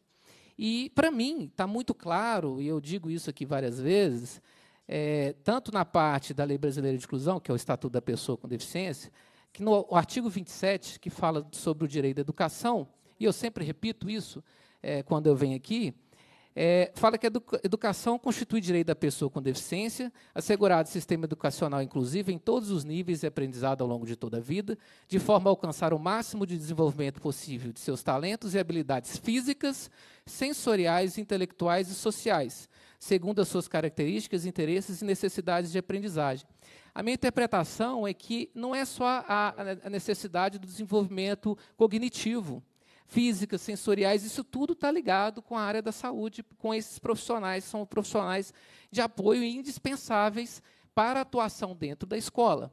Né? Então, sugiro um, um tema, um, uma futura audiência pública, quem sabe a gente faz uma comissão mista, deputado, para discutir exatamente essas políticas públicas de integração entre a saúde e a educação. Né? Eu acho que nós temos que caminhar para isso, porque senão o professor ele vai ficar ali dentro de sala de aula, isolado, sem saber o que fazer com aquela criança. Né? E não, há, não vai ter uma inclusão de fato. Né? Fica a minha sugestão. É...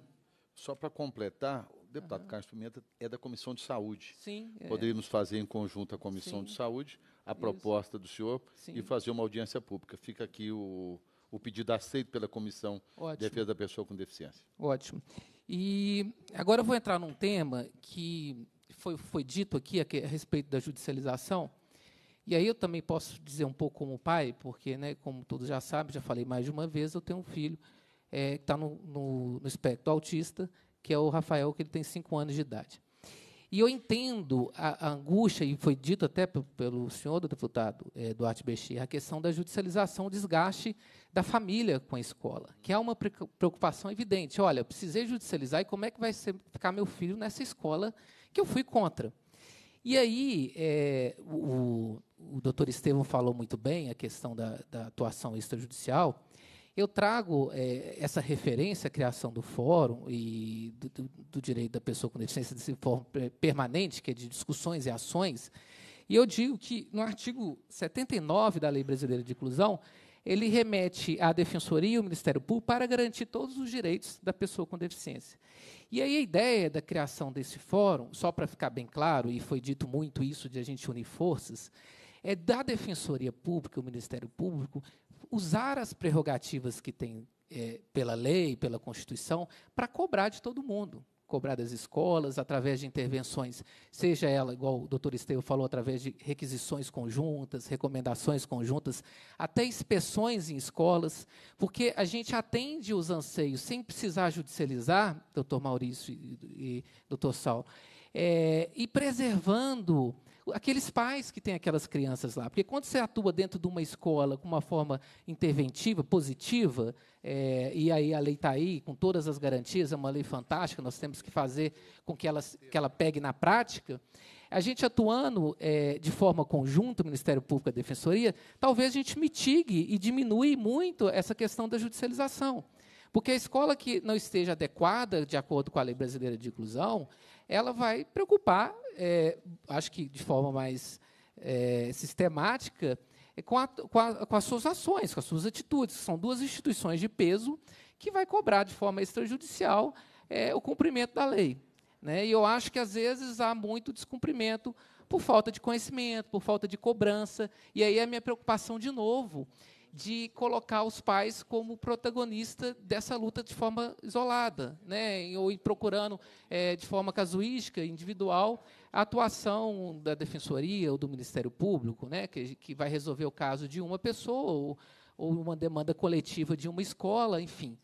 Eu acho que a ideia do fórum, e aí eu posso falar, é, penso que posso falar pelo doutor Bertoldo e pelo doutor Estevam, que foi eh, nós já conversamos sobre isso, é exatamente a gente colher as demandas da, da sociedade, as demandas dos pais, das ONGs, e é, traçar uma estratégia de atuação conjunta para tentar resguardar esses direitos de forma coletiva, de forma sistemática. Então, é, né, presidente, é, sempre a atuação, a questão da escola, ela é recorrente em todas as audiências públicas, todas a, a questão da escola ela vem à tona. Então, uma demanda que é, se fala a, a cada momento. É, nós tivemos isso na, na, na audiência pública da, da, síndrome de Down, tivemos isso ano passado, em vários momentos.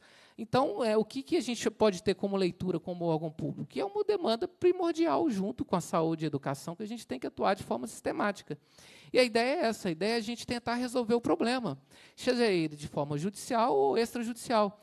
E aí é importante é, o que o Tribunal de Justiça trouxe, pelo doutor Maurício e pelo doutor Saulo, essa união de forças entre, entre essas instituições. Né? Porque a, a, ideia é dar esse conforto para os pais, dar esse conforto para as pessoas que precisam de uma política pública afirmativa e que essa lei pegue de fato, que não seja mais uma das inúmeras leis que nós temos que o Brasil é, já repeti isso, é, é, fantástico na criação de leis, mas é muito complicado na aplicação. Sofrível na aplicação. Sofrível na aplicação. É. Então, acho que nós temos que, como eu disse no início, munir de todas as formas possíveis de tentar resguardar esses direitos.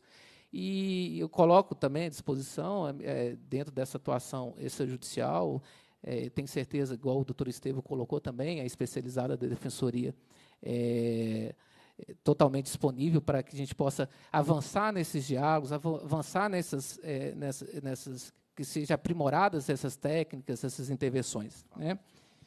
É, acho que é isso, mais ou menos, o que eu, o que eu tinha para dizer. Não estou vendo mais a nada a acrescentar, porque as respostas já foram dadas pelo meu colega Estevam.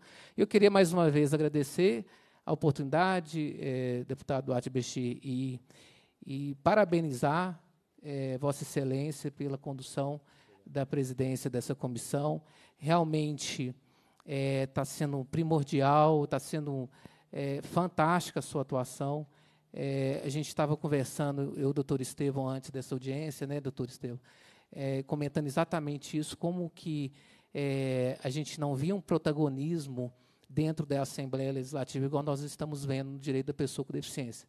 E Vossa Excelência não só congrega atores para discutir. Cobra posturas, cobra ações, então é isso que nós precisamos. Né?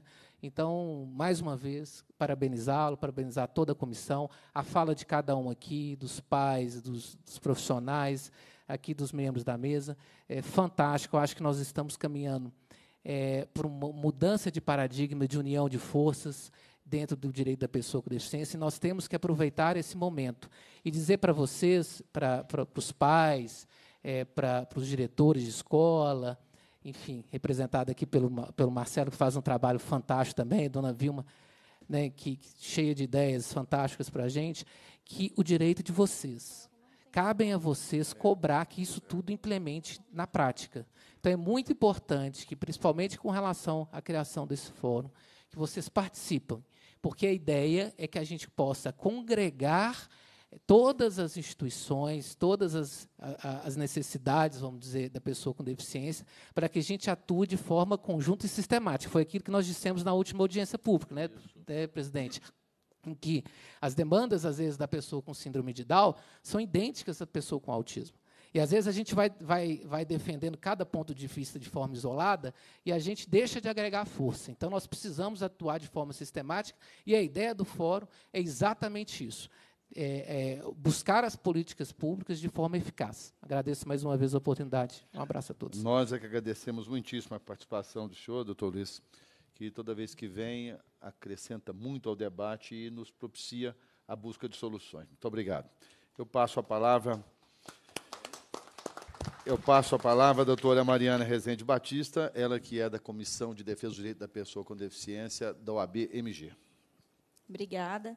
É, eu compartilho, apesar de também achar esse Sejusc excelente, eu compartilho da preocupação do doutor Luiz, porque eu, como advogada, eu lido muito com o cidadão, né, muito com as pessoas. Eu participo muito das associações, muito de reuniões, eventos, e eu tenho visto como que as pessoas falta informação, apesar delas saberem que elas têm um direito à escola, elas não sabem como funciona, elas não sabem como buscar, elas não sabem o que fazer.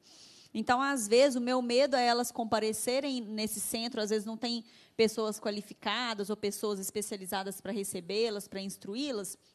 E às vezes elas podem fazer é, um acordo que não seja bom, enfim, é, soluções que às vezes não sejam realmente soluções para a pessoa com deficiência. Então, apesar, eu acho que, mesmo como advogada, eu, muito, eu, eu apoio muito essa, esses acordos extrajudiciais. Eu mesma tenho feito muito. Eu vejo, a gente estava conversando, por exemplo, sobre a falta de medicamento, a questão de medicamento, tratamento. Tem pacientes, às vezes, que me procuram para entrar com ações judiciais sem saber que, às vezes, aquela doença tem um protocolo clínico do Ministério da Saúde, que ela tem aquele, acesso àquele medicamento pela Secretaria de Saúde. É só ir lá e buscar. Então, muitas vezes, tem clientes que me procuram que eu consigo, de 100 que me procuram, 80 eu consigo solucionar de forma extrajudicial, às vezes passando uma informação. Então, eu acho, eu acho que o principal do Sejus que tem que ser passar essa informação. Então, por isso que precisam, às vezes, de profissionais qualificados, especializados, que saibam passar essa informação de forma que o cidadão consiga re realmente resguardar o seu direito. E não simplesmente chegar lá, fazer um acordo mal feito, ou, às vezes, a pessoa não ter. É, é, sair de lá prejudicada, vamos dizer assim. Então, eu apoio muito o, o, essa solução extrajudicial, eu acho que é muito útil, porque realmente o judiciário às vezes fica abarrotado de ações. Eu já participei de diversas é, reuniões com o secretário de saúde e ele já me falou, doutora, chegam ações aqui das pessoas judicializando suco de uva integral, porque não pode tomar um suco de uva sem ser o integral. Então, assim, ele mesmo me falou que são demandas assim que uma demanda dessa atrasa as demandas realmente importantes de medicamentos caros, de insumos caros, né, que tem crianças com autismo que fazem uso de leites especiais, enfim. Então, a gente vê que essa, essas questões judiciais é, atrasam o judiciário ou abarrotam o judiciário de forma que é, é, as, o, o, cidadão que tem uma demanda justa fica prejudicado. Então, essas demandas é, extrajudiciais, eu acredito que elas podem ser muito mais céleres e resolver a questão muito mais rapidamente. Mas eu acho que o principal, eu sempre falo aqui nas audiências, é a informação. São essas audiências, são reuniões, são palestras, né, que a gente sempre dá, a gente sempre participa, para o cidadão ele ficar informado de como buscar seu direito antes mesmo de procurar o judiciário. Igual essa senhora falou aqui, ela tentou de todas as formas. Aí foi quando o doutor Estevão falou: é realmente o seu, não há o que fazer, tem que ser o judiciário. Então, é, a comissão se coloca à disposição até mesmo para participar dos eventos, instruir o cidadão, e até mesmo do, do Tribunal de Justiça, Defensoria, Ministério Público, para o que precisar, é, às vezes, por a gente ter mais contato com o cidadão, não a Defensoria, no caso, tem muito contato com o cidadão também, mas é, a gente pode, às vezes, dar é, dicas e, e, e propor é, soluções mais justas para o cidadão em si. Obrigada. Ok, muito obrigado também. Doutora Mariana Rezende Batista, Comissão de Defesa do Direito da Pessoa com Deficiência. Eu queria que a TV pudesse focalizar aqui nesse cartaz. É, vai estar ocorrendo também é, esse simpósio transtorno do espectro autismo, promovido pela OAB, pela comissão que é especial e trata a questão do autismo na OAB-MG. É. Eu queria também deixar uma proposta aqui, que no próximo ano, quando nós fizermos aí a semana de conscientização, nós pudéssemos unir força também com a comissão especial da OAB, que fizéssemos um evento em conjunto e que pudesse vir, porque é uma comissão que trata especialmente a questão do autismo. Deu para focalizar aqui? A TV Assembleia focalizou? Ok? Porque é um evento extraordinário que a comissão, é, através do, dos direitos da pessoa do autismo, da OABMG, irá realizar. Sem dúvida alguma, extraordinário. E se nós fizermos juntos, num evento só, aí nós vamos estar, quem sabe, unindo as nossas forças, aumentar o nosso trabalho e o nosso poder de ação. Né? Então, fica registrado aqui, é, vai ter palestras dia 5 de abril, é, quinta-feira, né? às 18h30, na sede da OAB, na Rua Albita 250, bairro Cruzeiro, Belo Horizonte. Aí, então, a gente agradece o convite também para somar esforço. Eu passo a palavra ao ilustre deputado Carlos Pimenta, é médico e membro permanente da Comissão de Saúde desta casa. Obrigado, Arte. Eu vou ser bem, bem objetivo, bem prático, para não, não ser redundante no que foi aqui discutido. Mas eu só queria primeiro manifestar a minha satisfação em participar dessa reunião. O Duarte me convidou semana passada, e eu falei que eu viria sim, não pude vir antes devido aí a compromisso aqui na própria casa, mas eu, eu, eu fiquei muito interessado no tema, é, porque nós estamos tratando essa reunião de hoje especificamente da questão da judicialização, né, do, vamos dizer assim, do, do apoio, do atendimento às pessoas com autista, com autismo. Eu sou presidente da Comissão de Saúde, é, tenho tenho notado, eu conversava aqui com o doutor, doutor Maurício, que hoje a, talvez a fila da judicialização na saúde está maior do que a fila do SUS.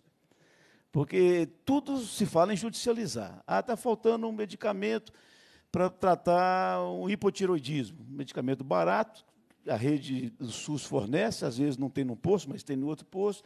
É, vai lá na defensoria pública e fala, não, eu quero, não estou conseguindo o remédio, não existe o remédio, se eu ficar sem tomar esse remédio vai estar problema, e acaba entrando com um processo judicial. Nós estamos falando na ocupação de profissionais, de, de advogados, ocupação de juízes, de magistrados, para poder a pessoa ter direito, né, fazer valer o seu direito. Então, tá, não sei se está ficando banal ou se é falta de informação, essa questão de judicialização. Mas quando o doutor Saulo e o doutor Maurício aqui me falavam desse, desse é, Sejus, é, que na verdade é, é, como se fosse uma vara de mediação, né? sem aquele trâmite, aquela burocracia de entrar com processo, de fazer isso, fazer aquilo, e às vezes uma boa orientação, não é nem conversa, uma boa orientação, você consegue mostrar né? É, é, é, o caminho, a solução, para que a pessoa possa ir. Eu vi a senhora falando aqui, ela já foi embora? Já saiu. A senhorinha aqui falando aqui do, da falta de informação. Né? Ah, eu não sabia, é ali perto do fórum, na rua não sei o quê e tal. Às vezes falta informação. Às vezes falta, não é, talvez não é nem o processo de informação, falta procura de informação. Né? Ter acesso a um site, ter acesso à internet. Hoje todo mundo mexe com a internet. Uma vez você mexe com a internet o dia todo mexendo, procurando saber isso, um, um site de, de, diversão, um site de informação, mas quando às vezes ela falta, sabe, aquele momento para procurar ter informação do que lhe interessa. E quando nós estamos tratando do autismo, gente, olha, não estamos tratando de uma doença rara, não. O autismo hoje, ele comete mais de 2 milhões de brasileirinhos e brasileirinhas, de brasileiros e brasileiras. Nós estamos falando num, num volume enorme né, de pessoas que, que apresentam um grau ou outro do espectro autista. Um grau ou outro. Quando se fala assim, ah, não, não é uma doença em que você tem uma forma e você tem uma receita para tratar. Mesmo porque existem vários graus. Você não pode tratar o, o, o, autismo hoje como uma receita, não, vai tomar isso. Não existe isso. Talvez o, o, o, que, o que é menos necessário para uma, uma criança com autismo seria uma receita de um medicamento. Porque quem é que vai tomar um medicamento? É quem tem aquele, aquela criança que está ansiosa, aquela criança que muitas vezes está é, faltando algum, alguma coisa, tem até uma doença que acomete qualquer criança em comum, acomete também a criança com autismo. O que nós estamos falando é a falta de assistência. A criança com autismo, ela precisa muito mais de uma interação da sociedade com os pais. Né? Quantos pais acham que não vou colocar minha, meu filho nessa escola especializada, que ali ela vai ter o que ela precisa. Não. Dentro de casa, muitas vezes, o pai tem, uma, tem um, tem, tem, ele precisa ser treinado para isso, ele precisa ser informado para isso, ele precisa saber qual é o grau de acometimento do seu filho, porque tem um espectro que é mínimo, mas tem um espectro que é, que é muito maior, que é muito mais, é muito mais preocupante. Né? Então, nós estamos falando é nisso. E veja numa reunião dessa aqui, nós tivemos o Ministério Público, temos aqui a presença de um desembargador, a presença de um juiz, a presença de três advogados. Eu perguntava aqui o, o, o Duarte, onde é que está o Ministério Público aí, que muitas vezes ele, ele, deveria estar presente numa reunião dessa, é o primeiro a sentar numa reunião dessa, e é o último a sair. Porque muitas vezes ele, ele é o defensor da sociedade, ele é o defensor das famílias, da, dos interesses de todo mundo. Não estou fazendo nenhuma crítica ao Ministério, não, porque as críticas ao Ministério Público eu estou fazendo elas contundentemente lá na minha comissão de saúde. Em nenhum momento, doutor Saulo, já vou para dois anos como presidente da Comissão de Saúde, eu não tive a presença de um promotor de justiça, e nós estamos sabendo o que está sofrendo hoje a sociedade mineira, a sociedade brasileira, com essa, com essa saúde miserável que nós estamos vendo aí, sem nenhuma perspectiva para, para os pacientes, sem nenhuma perspectiva para o doente que estão morrendo nas portas dos hospitais. Os hospitais hoje, é, com uma dívida monstruosa a ser cobrada do, do, do, do governo do Estado, e o governo do Estado não dá a mínima bola.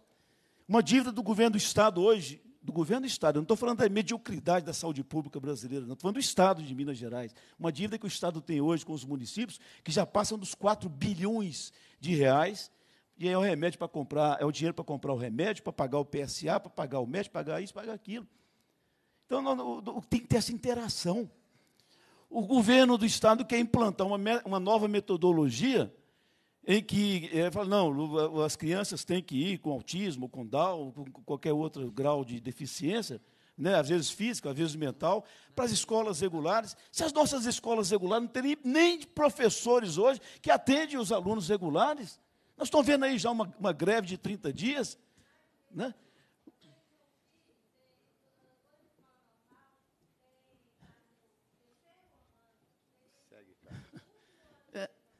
Aí, mais, um, mais um depoimento.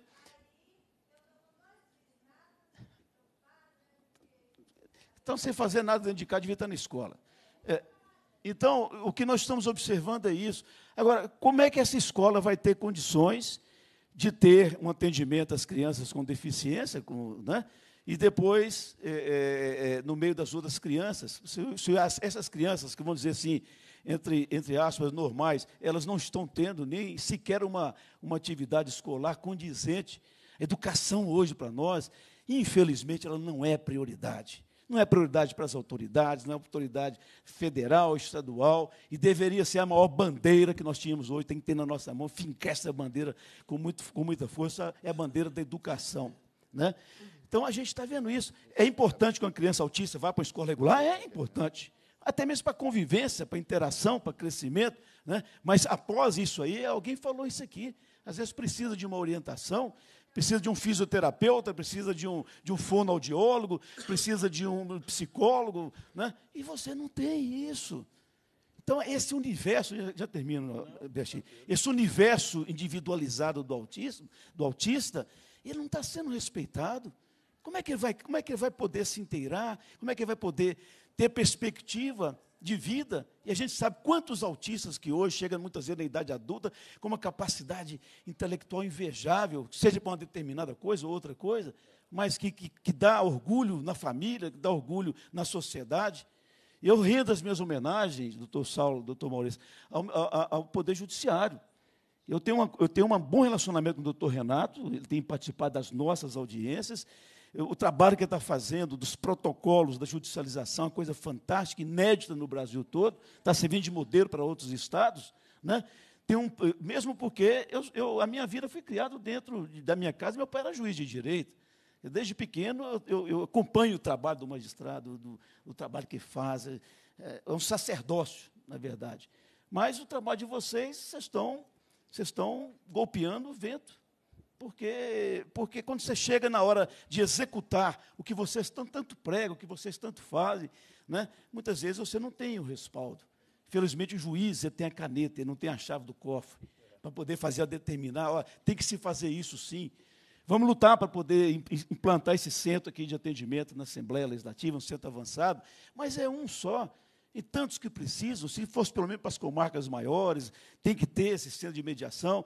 Olha, eu acho que nós estamos vendo aí várias lutas, não são inglórias e não são, e, e, então, não vou julgar que elas são lutas inglórias, mas pelo menos são lutas, e nós temos que continuar, perseverar nessas lutas, porque nós estamos lutando por cada vida, por cada oportunidade, cada brasileirinho, cada brasileirinha que a gente vê por aí.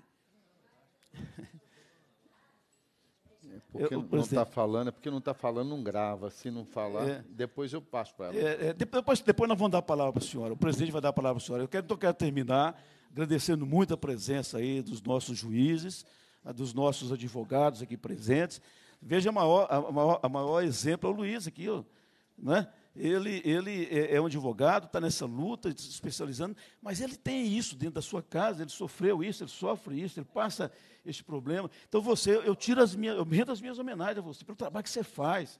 Você está trazendo isso aqui, experiência própria, vivida dentro, dentro da sua casa.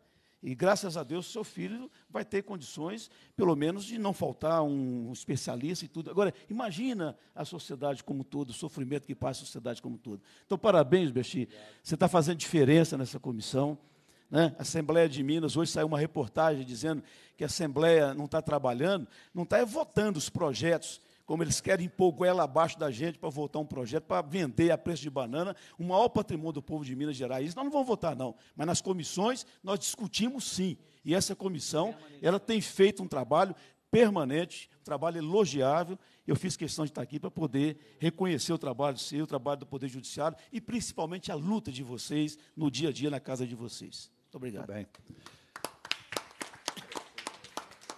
Bom, eu, em nome das entidades que estão apoiando e estão ajudando a construir essa semana de conscientização dos transtornos do espectro do autismo. Eu queria aqui render as minhas homenagens à Associação da Síndrome de Asperger no Tratamento do Espectro do Autismo Minas Gerais, a Azateia, porque foi com essa parceria que também nós iniciamos a possibilidade de criar essa semana e tem um papel fundamental. Em nome, então, da Azateia, eu queria cumprimentar as demais render as minhas homenagens ao TJ, que hoje se faz presente através do doutor Maurício, é, através do doutor Maurício, doutor é, Saulo, é, o terceiro vice-presidente e o juiz auxiliar, que foi muitíssimo importante a presença dos senhores aqui, muitíssimo, e ainda mais com uma tão boa notícia da criação aqui, é, oportunizando na Assembleia que as pessoas busquem a, a reparação ou a ameaça com muita facilidade e até mediante essa situação nós propusemos aqui dois requerimentos. É, o primeiro deles é que a gente faça uma audiência com convidados para ouvir o doutor Estevão, coordenador da Defensoria Especializada do Idoso e da Pessoa com Deficiência, e Bertoldo Matheus Oliveira, coordenador estadual da Defesa do Direito da Família, das Pessoas com Deficiência e dos Idosos, acerca da criação de um fórum permanente e com certeza, o primeiro assunto, o desembargador doutor Saulo e doutor Maurício, para também numa audiência com convidados acerca da instalação de um posto avançado para atendimento pré-processual em parceria com a Assembleia. Então, essas duas audiências, nós teremos dois momentos para discutir como é que será, como o povo vai ter acesso, quando a gente pode pensar nessas respectivas instalações e, no caso também, nós estarmos juntos à Assembleia Mineira com essa situação. Eu queria também agradecer aos demais convidados. Eu sempre digo aqui, doutor Saulo, a doutora Mariana é nova, mas é destemida, ela é participativa e a gente vê a presença da OAB sempre muito fortalecida aqui na nossa comissão. Doutor Luiz Renato, o próprio deputado Carlos Pimenta traduziu, vocacionado, tem em casa esse sentimento, sabe como poucos auxiliar as famílias, porque o exemplo vem da própria casa, mas é defensor de toda a nossa Minas Gerais, é estudioso e enriquece os trabalhos que nós temos feito aqui e as pessoas com deficiência em Minas Gerais se sentem também mais seguras com a sua participação. Agradecer aqui o doutor Estevam, da mesma forma, doutor Estevam, o senhor engrandeceu muito os nossos trabalhos e essa conscientização que nós buscamos, ela só vai acontecer com essa, todas as mãos aqui auxiliando. E, mais uma vez, agradecer muitíssimo ao senhor também.